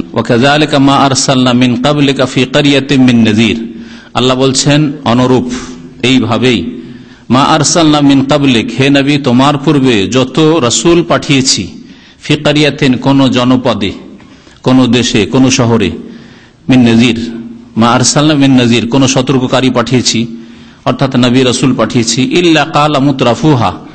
যখনই পাঠিয়েছি, তখনই সেখানকার সচ্ছল লোকেরা বলেছে। আল্লাহ মুতরাফুহা বলেছেন, অর্থাৎ সচ্ছল লোকেরা। তাহলে নবী, রসুলগণের বিরোধিতা, যারা সুখী, সচ্ছল, অভাবমুক্ত মুক্ত পয়সাওয়ালা নেতৃত্ব সম্পন্ন তারাই করেছে। একাধিক আয়াতের প্রমাণ। তার একটি আয়াত হচ্ছে এটি, ইল্লা কালা মুতরাফুহা। আর মানুষ সুখ হয় তখনই মানুষ পাপ করে, সীমা লঙ্ঘন করে, বাড়াবাড়ি করে। অভাব থাকলে সাধারণত কমই বাড়াবাড়ি করে, বিশেষ করে জুল অত্যাচার, সীমা লঙ্ঘন করা, কথা বেশি বলা, অন্যায় কথা বলা, এগুলি সুখের কারণে করে মানুষ, নেতৃত্বের ক্ষমতায় পয়সার ক্ষমতায় জনবলের ক্ষমতা এসব ক্ষমতায়। আল্লাহাক তাই বলছেন যে এই সচ্ছল লোকেরা কি বলেছিল? ইন্না ওয়াজাদানা আবা আনা আলা উম্মা নিশ্চয়ই আমরা আমাদের পূর্বপুরুষদেরকে পেয়েছি এক ওম্মাত মানে গত সপ্তাহে বলেছি এখানে এই আয়াতগুলিতে। ওম্মাত মানে? কারও মনে আছে? ওম্মাত মানে মিল্লাত। একটি ধর্মমতের উপর।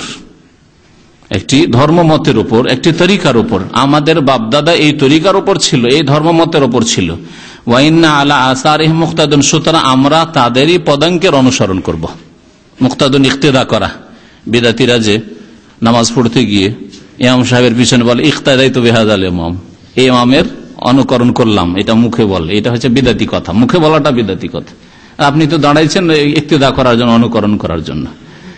তো বিদাতিরা নামাজের প্রথমে যে ট্রিপুল ভুল করে, তিনটা বিদাত করে, তার একটি বিদাত হচ্ছে ইকতাদাই তো বেহাজ আল ইমাম বলা মুক্তদুন ও ইকতিদা থেকে। সচ্ছল লোকেরা পাপে লিপ্ত হয়, আল্লাহ পাক আরেকটি আয়তে সুরে বনি ইসরায়েল বলেছেন ওয়াইজা আরাদনা আন্ন হলে কারিয়াতান আমার নামুতরা ফিহা ফাফাসা কুফিহা যখন আমি কোন জনপদকে জন দেশকে, কোন এলাকাবাসীকে ধ্বংস করতে চাই আমার নামুতরা ফিহা, তখন আমি স্বাধীনতা দিয়ে দিই সেখানকার সচ্ছল ব্যক্তিদেরকে। আল্লাহ ওই ক্ষমতা দিয়ে দেন। মানুষের মধ্যে ভালো মন্দের ক্ষমতা আছে। এটা হচ্ছে আমার নামুতরা ফিহা। অথবা আল্লাহ পাকের সৃষ্টিগত আদেশ। আল্লাহ পাকের শরীয়তে আদেশ না যে তুমি পাপ করো। কিন্তু আল্লাহ পাকের সৃষ্টিগত ক্ষমতা মানুষকে দেওয়া আছে। ভালো কাজ করার, মন্দ কাজ করার। তবে মন্দ থেকে বাঁচারও ক্ষমতা দেওয়া আছে। কেন বাঁচছে না? স্বাধীনতা আল্লাহ পাক দিয়েছেন যেটা আমরা হাড়ে হাড়ে টের পাচ্ছি। আমার না মুত্রাফিহা এখানে আল্লাহ পাক ওই যে মুত্রাফি আর এখানে মুত্রাফু বলেছেন। মানে সচ্ছল লোকদের আল্লাহ পাক রব্বুল আলমিন তখন পাপে লিপ্ত করে দেন কুফিহা তখন সচ্ছল লোকেরা পাপে ডুবে যায়। ফাহাক্কা কৌল তখন আল্লাহ পাকের আদেশের বাস্তবায়ন হয়। ফাদাম্মার সুতরাং আল্লাহ পাক তাদেরকে একেবারে সমূলে বিনাশ করে দেন, তাদের শিকড় থেকে উঠিয়ে ফেলে দেন, ধ্বংস করে দেন। ফাদাম্মার নাহাতাদমিরা কোন জাতির ধ্বংসের পিছনে কারণ হচ্ছে মানুষের সচ্ছলতা, মানুষের নেতৃত্বের বল, জনবল, এগুলির অহংকার। এগুলিতে যখন মানুষ সীমা লঙ্ঘন করে, তখন আল্লাহ পাক তাদেরকে ধ্বংস করেন। তো এই পাপিষ্ট, সচ্ছল লোকেরা এইরকম বাপদাদা দোহাই পেড়েছে প্রত্যেক যুগে যুগে। যখনই যুগে যুগে নবী রসুলদের সাথে এইরকম আচরণ করা হয়েছে, এই জবাব দেওয়া হয়েছে, তখন নবী রসুল কি উত্তর দিয়েছেন? তার কথা আল্লাহ উল্লেখ করেছেন, বলছেন, কালা তখন যুগে যুগে নবী সতর্ককারী বলেছেন, আওয়ালাউ যে তুকুম বে আহাদা মিম্মা ওয়াজাদুম আলাইহে আবা আকুম তোমাদের পূর্বপুরুষদেরকে যেই পন্থার ওপর, যে ধর্মমতের ওপর পেয়েছ, তার চাইতে বেশি উৎকৃষ্ট জিনিস যদি আমি নিয়ে আসি, তার চাইতে উত্তম পন্থা যদি, উত্তম বিধান, আল্লাহ প্রদত্ত বিধান যদি আমি নিয়ে এসে থাকি, কালু, তাদেরকে বলা হইল যে কোনটা নিবে? তোমাদের বাপদাদা একটা করে গেছে, আর ওর চাইতে ভালো আমি আল্লাহ প্রদত্ত বিধান নিয়ে এসেছি, কোনটা নিবে? আসলে মানতে তো রাজি না, ভালো হইলেও মানবে না। নবী রসুলের কথা মানবে না। ও বাপদাদার দোহাই দিয়ে মন্দের ওপরই থাকবে সেই জন্য তখন তারা জয় বলতো, কালু, ইন্না বেমা উরসিল তুম বেহি কাফেরুন। তোমরা যা নিয়ে প্রেরিত হয়েছ, তা আমরা প্রত্যাখ্যান করছি, তা অস্বীকার করছি। কাফেরুন, মানবো না তোমাদের কথা। কি করবে? দেখেছেন না খারাপ লোকদেরকে? তোমার কথা কে মানে? মানবো না যাও। কি করবে? করো। এই জবাবই দিয়েছে যুগে যুগে কাফির, বিদিনরা পাপিষ্টরা ফান্তা কামনা মিনহুম। আল্লাহ তখন কি করেছেন? আল্লাহ বলছেন, তাদের থেকে আমি তখন প্রতিশোধ গ্রহণ করেছি। আল্লাহ তখন শাস্তি দিয়েছেন। প্রত্যেক যুগে যুগে আল্লাহ পাপিষ্টদের এইভাবে শাস্তি দিয়েছেন, যখন তারা অস্বীকার করেছে। নবী করিম সাল্লামের আগমনের পরে আল্লাহ পাক একসাথে ঢালাহারে শাস্তি দিয়ে নু আলাইসালামের জাতির মতো, লুত আলাইসালামের জাতির মতো, আদ সামদের মতো ধ্বংস কেন করেননি? হ্যাঁ বদরে তাদেরকে লাঞ্ছিত করে আল্লাহ ধ্বংস করেছেন, মক্কা বিজয় তাদেরকে লাঞ্ছিত করে ধ্বংস করেছেন, আরব জগৎ থেকে তাদেরকে নিশ্চিন্ন করেছেন, ধ্বংস করেছেন। কিন্তু আল্লাহ একসাথে আল্লাহ পাকের আসমানি আজাব দিয়ে ধ্বংস করেননি, কারণ নবী করিম সাল্লাহ ইসলামের দোয়া ছিল যে, হে আল্লাহ আমার উম্মত। আমার উম্মত মানে যারা উম্মত দুই প্রকার। এক উম্মত যারা কবুল করেছে ইসলামের দাওয়াত মুসলিম হয়েছে, আর উম্মত মানে আমি আসার পরে যে জাতি আমার সামনে আছে। যাদের জন্য আমি প্রেরিত হয়েছি, উম্মতে দাওয়াত। উম্মতকে দুই ভাগে ভাগ করেছেন আলমার। উম্মতে দাওয়াত মানে যাদের জন্য নবীর দাওয়াত। নবীর দাওয়াত সকলের জন্য, নবী আসার পরে। আর উম্মতে এজাবাত মানে যে উম্মত এই দাওয়াত কবুল করেছে, এই দাওয়াতে সাড়া দিয়েছে। তো নবী সাল্লামের দোয়া ছিল, আল্লাহ, আমার জাতিকে যাদের জন্য প্রেরিত হয়েছি, ঢালাহারে ধ্বংস করে দিও না। লাখ লাখ মানুষ একসাথে, গোটা মাক্কাবাসী একসাথে ধ্বংস করে দেওয়া হলো না। সত্তর জনকে ধ্বংস করা হলো বদরে। সত্তর জন বন্দী লাঞ্ছিত অবদস্ত হয়ে আসলো। আবার মক্কা বিজয়, লাঞ্ছিত অবদস্ত হইল হনাইনে হইল এইভাবে বিভিন্ন সময় আল্লাহ ফকরবুল আলমিন তাদেরকে নির্মূল করেছেন। আল্লাহ বলছেন ফান্তাকাম নামেন তখন তাদের থেকে আমি প্রতিশোধ গ্রহণ করলাম। ফানজুর, হে নবী, তুমি চিন্তা করে দেখো, কাইফা কান আকিবাতুল মুকাজ্জেবিন? এই মিথ্যাবাদীদের পরিণাম কেমন হয়েছিল? নুহ আল ইসলামের জাতির পরিণাম কি হয়েছিল? আদ সামুদের পরিণাম কেমন হয়েছিল? কেমন পরিণাম হয়েছিল লুত আলাহ ইসলামের জাতির? কেমন পরিণাম হয়েছিল ফেরাউন আর ফেরাউনের সেনাবাহিনীর? কীভাবে আল্লাহ তাদেরকে ধ্বংস করেছেন?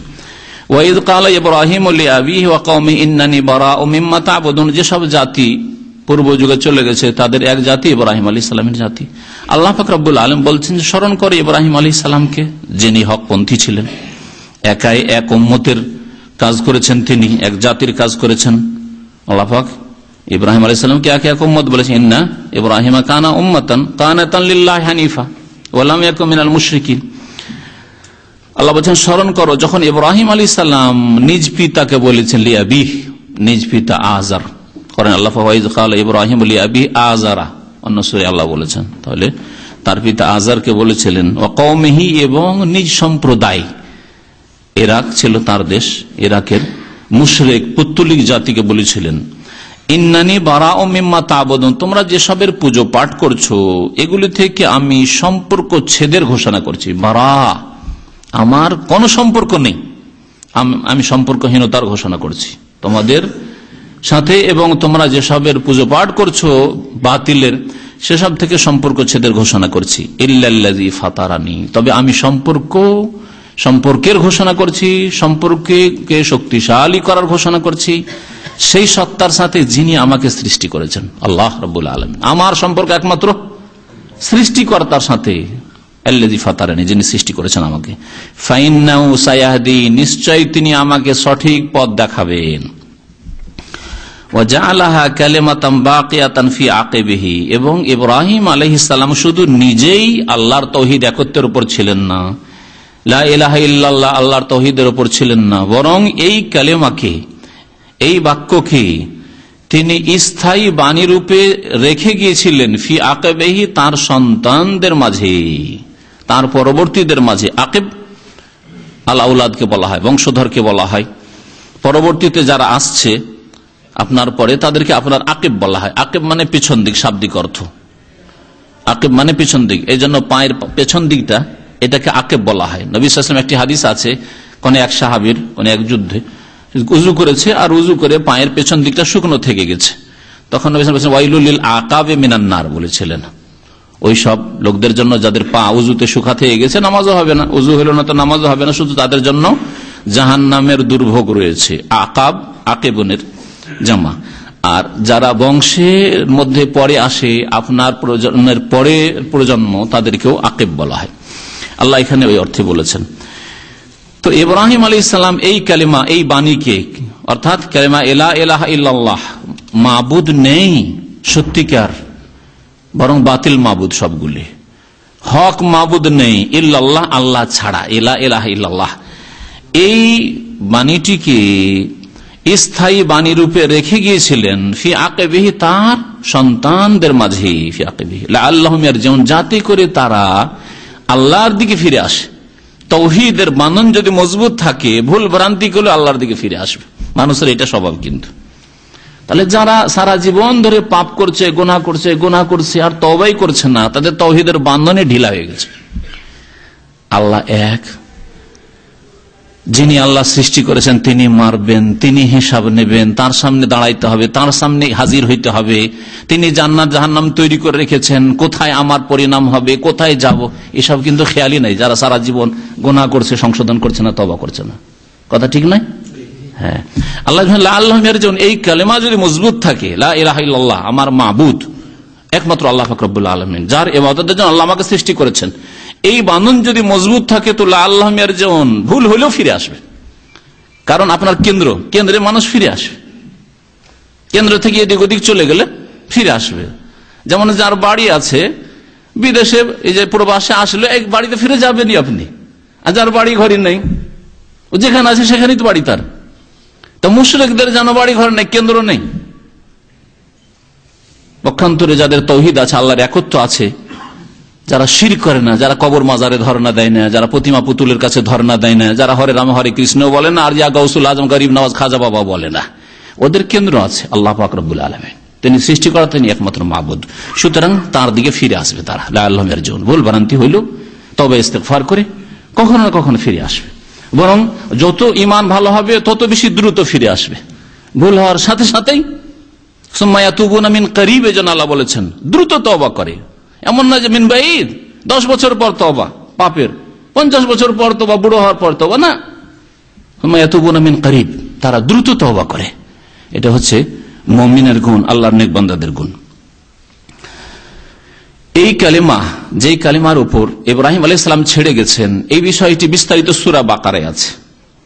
সুরা বাকারাতে আছে যে ইব্রাহিম আলহি সালাম এই তৌহিদের উপর ছেড়ে গেছেন এবং ইব্রাহিম আলী সালামের ছেলে, ছেলের ছেলেরা ইয়াকুব আলী সাল্লাম ইয়াকুব আলী সাল্লাম তার ইন্তকালের সময় জিজ্ঞাসা করেছিলেন মাজা তাবুন আমি বাদি? তার সন্তানদেরকে জিজ্ঞাসা করেছে, আমার পরে কার ইবাদত করবে? তখন তারা কি বলেছিল না বোধ এলাহা এলাহ আবা ইব্রাহিম ও ইসমাইল ও ইসহাকা এলাহা ওয়াহেদা ও নাহনুল্লাহ মুসলিম জি ওই দিকে ইশারা করা হয়েছে এই আয়াতে। এক আয়াত আর এক আয়াতের তফসির করে। এখানে আল্লাহ সংক্ষেপে বলেছেন, ওই আয়াতগুলিতে বিস্তারিত আছে। প্রথম পারা শেষ হতে যাচ্ছে, তার আগের পাতে দেখবেন এই আয়াতগুলি রয়েছে।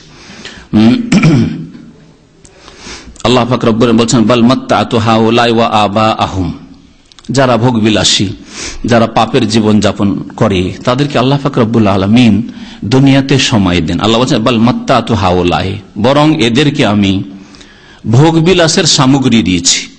মাতা হচ্ছে ক্ষণিকের ভোগের বস্তু। এদেরকে ক্ষণিকের ভোগ বিলাসের সামগ্রী দিয়েছি। ও আবা আহম তাদের পূর্বপুরুষদেরকেও আমি দিয়েছি। যারা পাপে ডুবে থেকেছে, তাদের বাপদাদাও শির্ক বিদাতে ডুবে থেকেছে, পাপে ডুবে থেকেছে, তাদেরকেও ভোগ বিলাসের বস্তু দিয়েছে। হাত্তা যা আহমুল হাক, এমনকি তাদের কাছে সত্য আগমন করেছে। ও রাসুল মুবিন, আর স্পষ্টকারী রসুল এসেছেন, মুবিন। যিনি সুস্পষ্ট করেছেন, এমন রসুল এসেছেন। এই আয়াতে বিশেষ করে ইঙ্গিত আছে ওই দিকে, যেই দিক, যেই দিকটা যে জামানাটা নবী করিম সাল্লাহ সাল্লামের পূর্বের জামানা, ইব্রাহিম আলী সাল্লামের পরে, মক্কার লোকেরা ইসমাইল আলী সাল্লামকে পেয়েছেন তার পরে মাঝখানে, তারা কোন নবী পাননি। মানে ইসরায়েলের নবী, মুসা আলি সাল্লাম এসেছেন ইসা আলী সাল্লাম এসেছেন শাম দেশে এসেছেন, আম্বিয়া রসুলগণ। কিন্তু মক্কাই এব্রাহিম আলী ইসলাম ইসমাইল আলী ইসলামের পরে, নবী সাল্লাম পর্যন্ত আর কোন নবী রসুল আসেনি এই মাঝখানে তারা ভোগবিলাসে ডুবে থেকেছে। ভোগবিলাস করতে করতে যখন দিন শিক্ষা থেকে সত্য দিনের জানা এবং তার বাস্তবায়ন থেকে দূরে সরে গেছে, তখন তাদের তৌহিদের স্থান শিরকে দখল করেছে। এই সম্পর্কে ইতিহাসের একটু ইঙ্গিত দেওয়া প্রয়োজন রয়েছে। নবী করিম সাল্লামের মাত্র তিনশো বছর আগে, তিনশো বছর পূর্বে মক্কায় শির্ক শুরু হয়। তাহলে তিনশো বছরের আগের যে যুগটা, সেই যুগে মক্কাতেও তৌহিদ ছিল, আল্লাহর একত্র ছিল। কাবার আশেপাশে কোনো শির্ক হইতো না। নবী করিম সাল্লামের তিনশো বছর আগে আমরিবনে লোহাই বলে এক হবিস পাপিষ্ট সে সামদেশে যায় আর সে ধোকা খেয়ে যায়। আর সেখানে গিয়ে সুন্দর সুন্দর প্রতিমা পুতুল দেখে, আর সেখান থেকে প্রথম একটা সুন্দর পাথর নিয়ে আসে, যে পাথরের নাম হচ্ছে হোবাল। এই পাথর নিয়ে এসে কাবার ছাদে রাখে। আর ধীরে ধীরে এক এক প্রতিমা থেকে, এক পুতুল থেকে, এক পাথর থেকে বহু পাথরের বহু প্রতিমা পুতুলের পূজা শুরু হয়। এই তিনশো বছরের মধ্যে তিনশো ষাট মূর্তি কাবার চারিদিকে শুধু। আউল আল কাবাতে সালাসমে সানামান হাদিসে রয়েছে। শুধু কাবার চারিপাশে। আর ঘরে ঘরে, মহল্লায় মহল্লায় পাড়াই পাড়াই মক্কার গলিতে গলিতে তো আছেই প্রতিমা পুতুল। সাফা মারোয়ার ওপে আসাফ নাইলা পূজা হচ্ছে। সাফার ওপে এক পুতুল হ্যাঁ আর এর উপর মারোয়ার ওপে আর প্রতিমা পুতুল, বোঝা হচ্ছে। কত দ্রুত মানুষ গুমরা হয়, সেজন্য কখনো দোকা খাবেন না। এই যে আমি তো ভালো হয়ে গেছি, আমার ছেলে মেয়ে হয়তো গুমরা হবে না। না, আপনার জীবনে আপনি সতর্ক থাকেন, হইতে পারে আপনার জীবনে গুমরাহি নেমে আসতে পারে। আল্লাহ ফাকরুল আলমিন এরশাদ করছেন যে, এদেরকে ভোগ বিলাসের সামগ্রী দিয়েছিলাম। হাত্তা জাহমুল হক, তাদের কাছে সত্য আগমন করল, কোরআন করিম আসলো। ও রাসুল মবিন, আর স্পষ্টকারী রাসুল মোহাম্মদ সাল্লাহ ইসলাম আগমন করলেন। ওয়ালাম্মা জা আহমুল হক, যখন তাদের কাছে সত্য এসে গেল, কালু তখন তারা বলে উঠল হাজা সেহরুন, এ তো কোরআন জাদু। তো জাদু নিয়ে এসছে মোহাম্মদ সাল্লাম। আর ইয়ে তো সাহের, এ তো জাদুকর। জাদু নিয়ে এসছে। তারা জাদু কেন বলেছিল? তাদের কথাইতে দ্বন্দ্ব ছিল। কখনো জাদু জাদু বলতো, আবার কখন জাদুকর বলতো, কখনো বলতো মোহাম্মদ পাগল। পাগল আবার জাদুকর হইতে পারে। পাগলে তো কোনো সংকল্পই থাকে না। পাগল তো যা বলে বিনা খেয়ালি বলে, তার তো কোনো ইচ্ছাই নেই। হ্যাঁ? তাহলে পাগল কখনো জাদুকর হইতে পারে না। কখন আবার কবি বলতো। তাদের কথাতে দ্বন্দ্ব ছিল। জাতু বলতো এই অজুহাতে যে স্বামী কাফের হয়ে, মুশরেক হয়েই আছে প্রতিমা পুতুলকে মজবুত করে ধরে আছে। স্ত্রী কোরআন আয়াত শুনে হেদায়ত হয়ে গেছে। বাপ কট্টর মুশরেক হয়ে আছে, আর ছেলে যুবক বারো বছর, চোদ্দ বছরে মুসলিম হয়ে গেছে। আবদুল্লাহ বিন আমর বিন আস, আমর বিন বাস পরে ইসলাম গ্রহণ করেছেন। আবদুল্লাহ তার ছেলে আগে ইসলাম গ্রহণ করেছেন এইরকম বহু ঘটনা আছে। মহাবিয়া রাজি আল্লাহ তার আগে আবু সুফিয়ান পরে, এইভাবে বহু। বহু সাহাবাই কেরামদের ঘটনা এরকম রয়েছে। তো তারা জাদু বলে আখ্যায়িত করল কোরআন করিম কি, ওয়া ইন্নাবিহি কাফেরুন, সুতরাং এই কোরআনকে আমরা অস্বীকার করছি। আমরা কে কাফার এক ফরমান অস্বীকার করা। আমরা অস্বীকার করছি। ওয়া কালু, আরও একটা কথা বলেছিল। আজকাল যেমন দুনিয়াতে মানুষের ধ্যান ধারণা যে যার কাছে নেতৃত্ব আছে বা যার কাছে ধন সম্পদ আছে, সে সমাজের অধিপতি হবে। সমাজের চেয়ারম্যান হবে কে? হ্যাঁ? সমাজের গ্রামের মাতবর হবে কে? হ্যাঁ? দায়িত্ব হবে যে প্রভাবশালী, যার বংশ বড় হ্যাঁ যার ঘরে ধন দৌলত আছে। কথা চলে যাতে করে সমাজে তার। তো এইরকমই মক্কার মুশ্রেকা বলেছিল যে আল্লাহ যদি নবী পাঠাবেন মক্কায়, তা আর পেলেন না এই মোহাম্মদ ছাড়া? আরে বড় বড় নেতা ছিল। ওদেরকে নবী বানাইতেন আল্লাহ। আল্লাহ ইয়াতিমকে যার বাপের খোঁজ নাই, মায়ের খোঁজ নাই, কেউ নেই, দাদা নেই, সব এতিম হয়ে মানুষ হয়েছে। আর একে আল্লাহ নবী বানেন এটা কেমন কথা? আল্লাহর কাছে এই কাফের মোশেকরা তাদের প্রস্তাব পেশ করছে। যে আল্লাহ, তুমি যদি নবী বানাই থাক তা আমাদের আরও তো লোক ছিল। আল্লাহ আল্লাহ বলছেন, শোনেন ওয়াকালু, এই কাফেররা বলেছে, লাউলা নুজিল হাজাল কোরআন আলা রাজুল মিনাল কারিয়াতাইনি আজিম লাউলা নুজিল হাজাল কোরআন। এই কোরআন কেন নাজিল হইল না? আলা রাজুলিন আজিমিন আসলে রাজুলিনের সেফাত হচ্ছে আজিম আর মধ্যখান মেয়াল কারিয়াতাইনে হচ্ছে ওই নজিলার সিলা। এই কোরআন কেন নাজিল করা হইল না?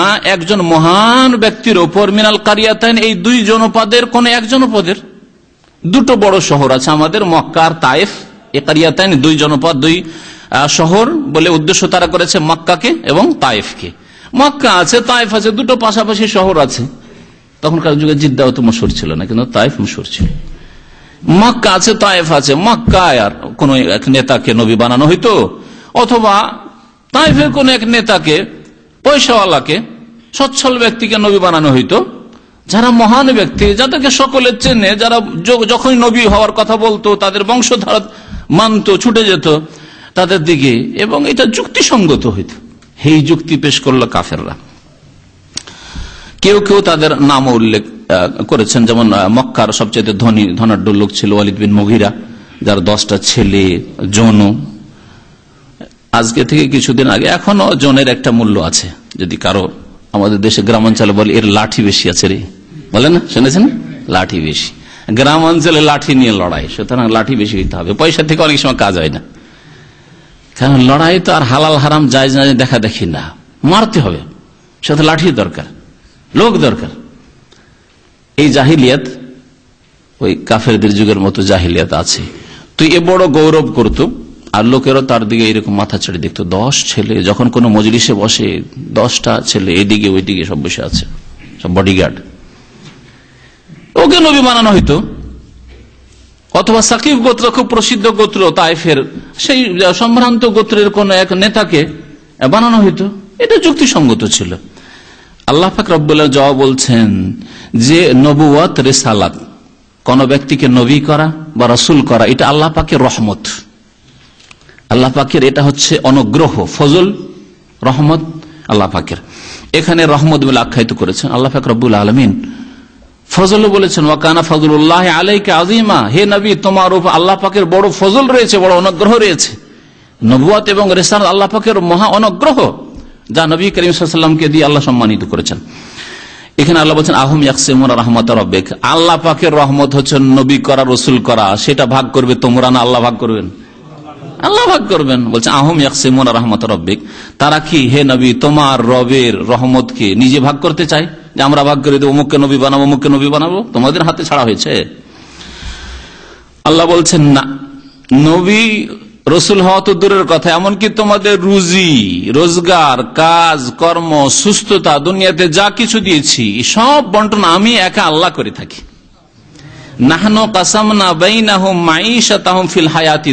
আমি আল্লাহ তাদের মাঝে ভাগ করে দিয়েছি, তাদের উপজীবিকা উপজীবিকাকে তাদের জীবন যাপনের যে উপায়, উপকরণ রয়েছে, এগুলিকে মাইনিসা ফিল হায়াতের দুনিয়া পার্থিব জগতে।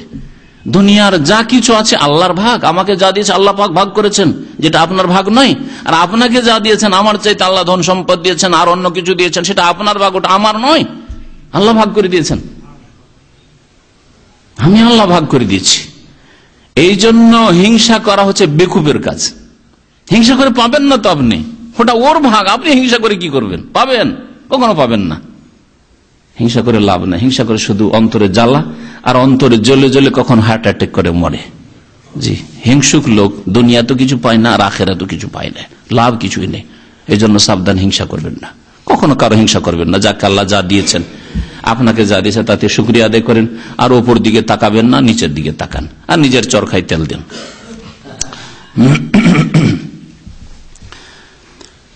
আল্লাহ ফাকরবুল আলমিন তাহলে পার্থিব জগতে মানুষের জীবিকাকে, মানুষের জীবন যাপনের সামগ্রীকে আল্লাহ ভাগ করে দিয়েছেন। আল্লাহ ভাগ করেছেন, এখানে আর একটা জিনিস লক্ষণীয়, কারণ আমাদের দেশে এই সিরকি রোগ আছে। আল্লাহ যখন ভাগ করে দিয়েছেন, তাহলে জিলানি কি দিতে পারে? বড় পীর নামে যে আব্দুল কাদির জিলানি কি দিতে পারে বলেন দেখি। তাকে ভাগ করার ক্ষমতা দেওয়া হয়েছে?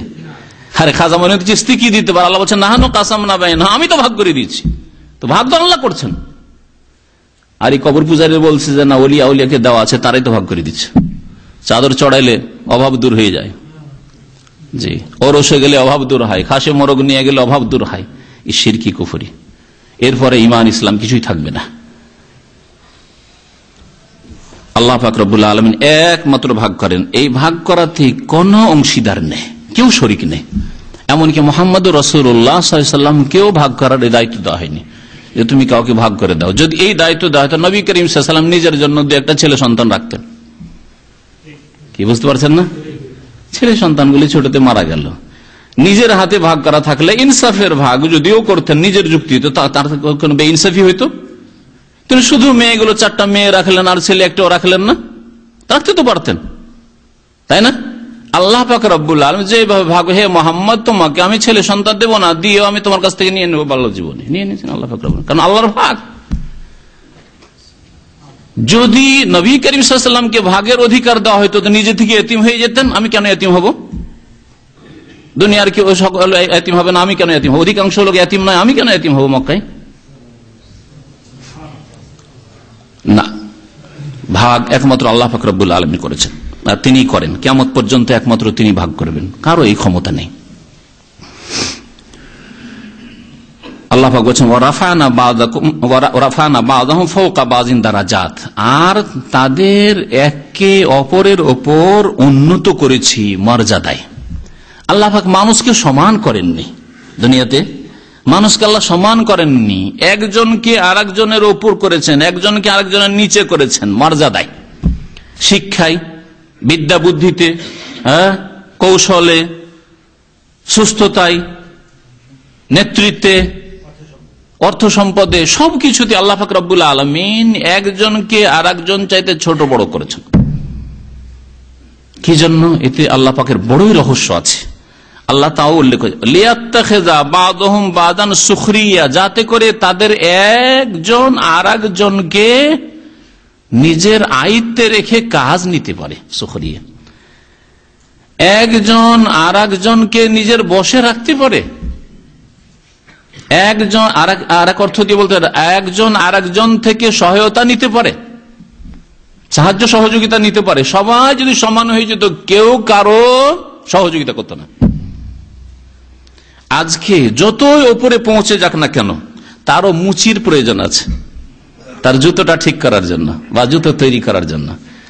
রাজা, বাদশাহ, প্রধানমন্ত্রী নিজের জুতা নিজে তৈরি করবে না মুচির দরকার আছে। তাই না? যত পেট্রোল আর ডলারের মালিক হয়ে যায়, ও চাষির ধান চাউলের দরকার আছে, গমের দরকার আছে। তাই না? আল্লাহ পাক এই কথাই বলেছেন এই আয়াতে। যতই বড় আল্লামা হয়ে যান না কেন ওই তাঁতির দরকার আছে। তাঁতির দরকার আছে কাপড় পরার জন্য। কাপড় ছাড়া চলবে না। আপনার এলিমের ওই মারফতি কাপড় পরে কাজ হবে না বিদ্যার্থীদের মতো।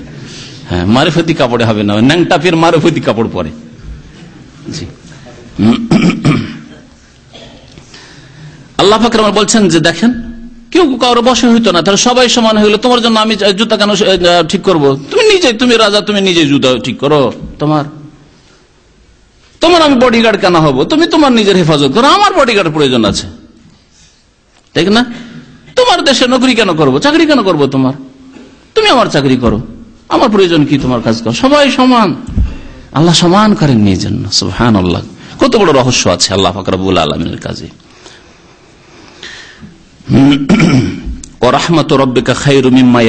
দুনিয়াতে যতই কিছু দুনিয়ার ভোগ বিলাসের বস্তু, ধন সম্পদ হোক, নেতৃত্ব হোক আর বিদ্যা বুদ্ধি হোক যা কিছুই হোক না কেন, টাকা পয়সাই হোক, যাই হোক না কেন ঘর, বাড়ি, বাগান, যা কিছুই হোক না কেন, সবকিছুর চাইতে আল্লাহ পাকের রহমত শ্রেষ্ঠ।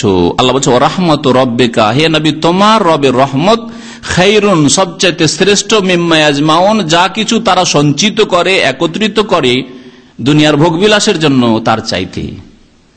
মানুষ যা কিছু সঞ্চিত করে দুনিয়ায় নিজে জমা করে যে আমি আমি নেতৃত্বে বাড়বো, আমি বিদ্যা বুদ্ধিতে বাড়বো, আমি ধন সম্পদে বাড়বো, এসবের চাইতে রবের রহমত হচ্ছে শ্রেষ্ঠ।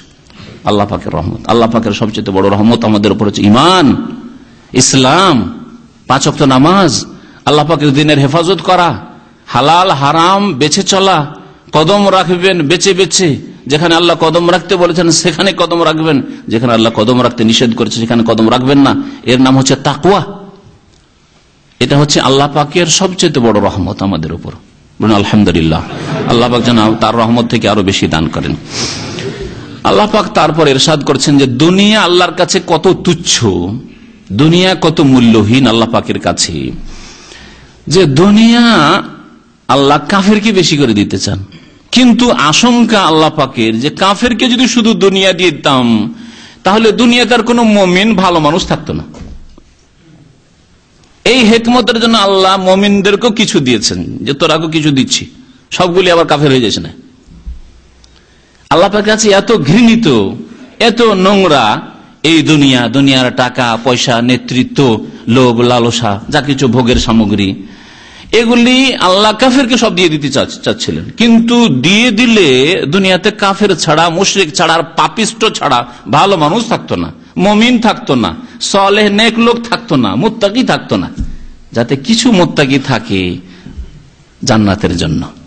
আর অধিকাংশ কুফরি শির করে, পাপ করে, আর গোনায় ডুবে জাহান নামে গিয়ে জাহান্নাম ভর্তি করে। এই জন্য আল্লাহ পাক ভোগ বিলাসের সামগ্রী কাফের, পাপিষ্ট গুনাগারদেরকে বেশি দিয়েছেন? আল্লাহ বলছেন ওয়াহেদা।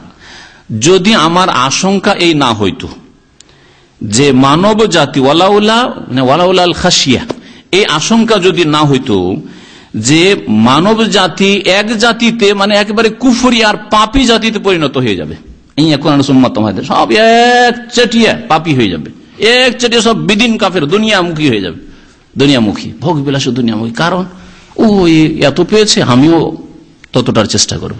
এইরকম সে উন্নতি করেছে, আমিও সেই রকম করব। আজকাল দুনিয়ার প্রতিযোগিতা দেখেন তার ছেলে ডাক্তার হয়েছে, বিদেশ গেছে, আমার ছেলে বিদেশ যাবে। তার ছেলে ইঞ্জিনিয়ার হয়েছে, আমার ছেলে ইঞ্জিনিয়ার হবে। কম্পিটিশন তার ছেলে এই অমুক স্কুলে ভর্তি করেছে, আমি, আমার পয়সা কম আছে? আর কম থাকলেও সেই স্কুলে আমিও পড়াবো। আমার ছেলে এই হয়, সে হয়। কিন্তু দিনের ক্ষেত্রে তার ছেলে এরকম পরেজগার হয়েছে আল্লাহ হয়েছে। তার ছেলে এরকম ভালো আলেম হয়েছে, আমার ছেলে কীরকম করব, এইরকম লোক পাওয়াই মুশকিল, অল্প।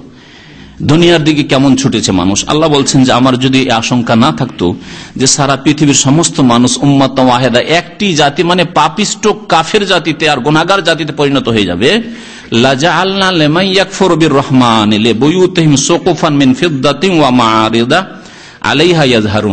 তাহলে আমি যারা রহমানের সাথে কুফুরি করে, আল্লাহ পাককে অস্বীকার করে, আল্লাহর দিনকে অস্বীকার করে, আল্লাহর দিনের বাস্তবায়ন করে না তাদের ঘরগুলির ছাদ আমি রৌপ্য দিয়ে করে দিতাম।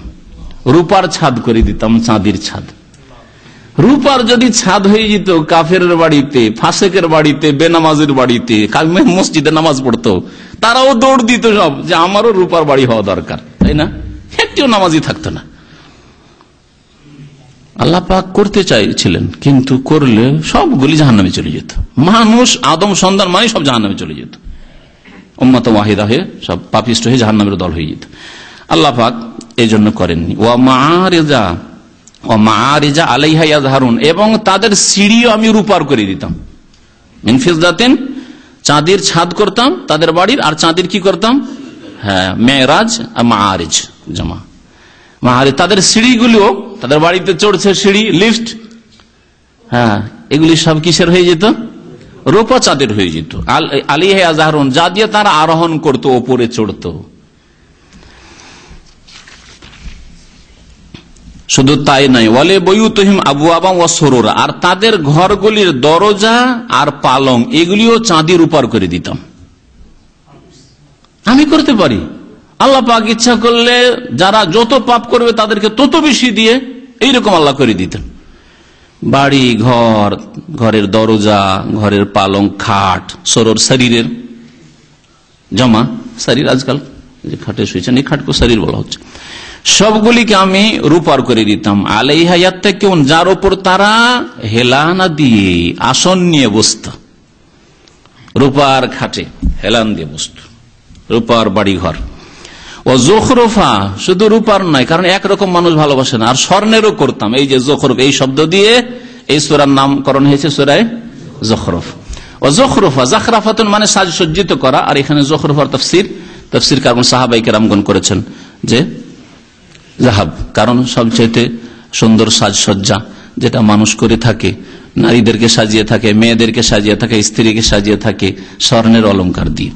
জোখরুফা, আর স্বর্ণের স্বর্ণের ঘর, স্বর্ণের পালং, স্বর্ণের ছাদ, স্বর্ণের সিঁড়ি, এসব করে দিতাম। ওয়াইন কুল্লু জালিকা লম্মা মাতাউল হায়াতি দুনিয়া। ওয়াইন কুল্লু জালিকা ইন, এটা হচ্ছে নাফিয়া। যারা গ্রামার বুঝেন, তাদের অবগতের জন্য বলছে, ইন মানে যদি হয়, এটা হচ্ছে ইন শর্তের, ইন শর্তিয়া, হারফে সার আর ইন কখনো কখনো নেতিবাচক অর্থে নায়ের অর্থে লা বা মায়ের অর্থে হয়। নায়ের অর্থে আর কি, যেটা। এখানে নায়ের অর্থে আছে, আর লাম্মা মানে হচ্ছে ইল্লা। হ্যাঁ? ইল্লার অর্থে। তাহলে অর্থ ওয়াইন কুল্লো জালিকা মানে এগুলি আসলে কিছুই নয়। এ দুনিয়ার ভোগবিলাসের সামগ্রী, স্বর্ণ, চাঁদি আর ভোগবিলাসের সামগ্রী, টাকা, পয়সা, রিয়াল, ডলার, এগুলি কিছুই নয় লাম্মা মাতাউল হায়াতির দুনিয়া, একমাত্র পার্থিব জগতের ক্ষণিকের ভোগের বস্তু। একমাত্র পার্থিব জগতের ক্ষণিকের বস্তু ছাড়া আর কিছু নাই। এতক্ষণে ভাব অর্থ আরও স্পষ্ট হইল। এ দুনিয়াতে যা কিছু আছে, এগুলি হচ্ছে পার্থিব জগতের ক্ষণিকের ভোগ বস্তু ছাড়া আর কিছুই নয়। একমাত্র ক্ষণিকের ভোগ বস্তু যতই ধন সম্পদ থাক না কেন, যতই টাকা পয়সা থাকে না কেন, সব কিছু ছেড়ে দিয়ে মাটিতে চলে যেতে হবে। কয়েকদিন মাটিতে থাকার পরে সে লাশ বের করে এমন দুর্গন্ধ ছড়িয়েছে, সরে গেছে। সুহান আল্লাহ যে কলকল কলকল করিয়ে পোকা, এই মাটির পোকাগুলি গোস্তে পোকা হয়ে গেছে, তা খাচ্ছে, গোস্ত খাচ্ছে। সেটা গরিব কেউ খাবে আর আমির কেউ খাবে, তাই না? নেতাকেও খাবে আর ধনাঢ্যকেও খাবে এই পোকাতে। ক্ষণিকের ভোগের বস্তু, কিছুই না দুনিয়া। তবে করতে হবে কি? দুনিয়ামুখী নয় আখেরাত মুখী হইতে হবে। তাই আল্লাহ বলছেন বল আখেরাত কালিল মুত্তাকিন। আর পরকালের ভোগের সামগ্রী, পরকাল যে সুখের স্থান, চিরকালের সুখ, এই পরকাল ইন্দারব্বে কার কাছে রয়েছে? কোন নেতার কাছে নেই। যে ওই দল করলে পরকালও পেয়ে যাবেন হ্যাঁ? কোন পয়সাওয়ালার কাছে নেই যে পয়সাওয়ালার বাড়ির চাকর ছিলাম, সেই জন্য পরকাল পেয়ে যাবেন। কোন পীরের কাছে পরকাল নেই যে, বাবা গো, তোমরা নজর নিয়াজ দাও, আমি একা জান্নাতে যাব না, সবগুলিকে নিয়ে যাব। শুনেছেন এগুলো পীরদের বক্তব্য? জন্মই বলে। দেখেন, যেটা আমাদের দেশি, দেশীয় হকানি সেটাও যদি কথা বলে, আর ফুলতুলির বেরলবি পীরের কথা আমাদের, ব্রিটেন থেকে আমাদের কয়েক ভাই টেলিফোন করেছে। ওখানে গিয়ে মসজিদে দাঁড়িয়ে গেল, আর তার যে খাস ভক্তরা আছে, তারা বলছে যে, এই যে বাবা বাবা সাপ ওদের সিলেটি ভাষা সাপ বলে, সাহেবকে সাপ এই যে সাপ এসছেন এই সাপ আপনাদেরকে একা ছেড়ে যাবেন না, আপনার আল্লাহর অস্তে দান খায়রাত করেন। দান আল্লাহর অস্তে আর পকেটে যাচ্ছে হুজুরে কিবলার। চিন্তা করতে পেরেছেন আপনি? আশ্চর্য হয়ে যাবেন আপনি। কোরআন খানি তো কোরআন খানি আমি দেখেছি ছোট কালে কোরআন খানি যারা করছে মাইয়েতার নামে, মরার নামে কোরআন খানি কোরআন খানি করে সন্ধ্যাবেলা হচ্ছে, আল্লাহর রাস্তা আপনার দান খেরাত করেন। মহিলা মানুষ, বাড়িতে বাপ মরেছে, মা মরেছে, ছেলে মরেছে, দান করতে আছে। আল্লাহর রাস্তে দান করে, সবগুলি শেষখানে ভাগ বন্টন করে মোল্লা হুজুরে নিয়ে চলে গেল। আল্লাহর রাস্তে দান হইল।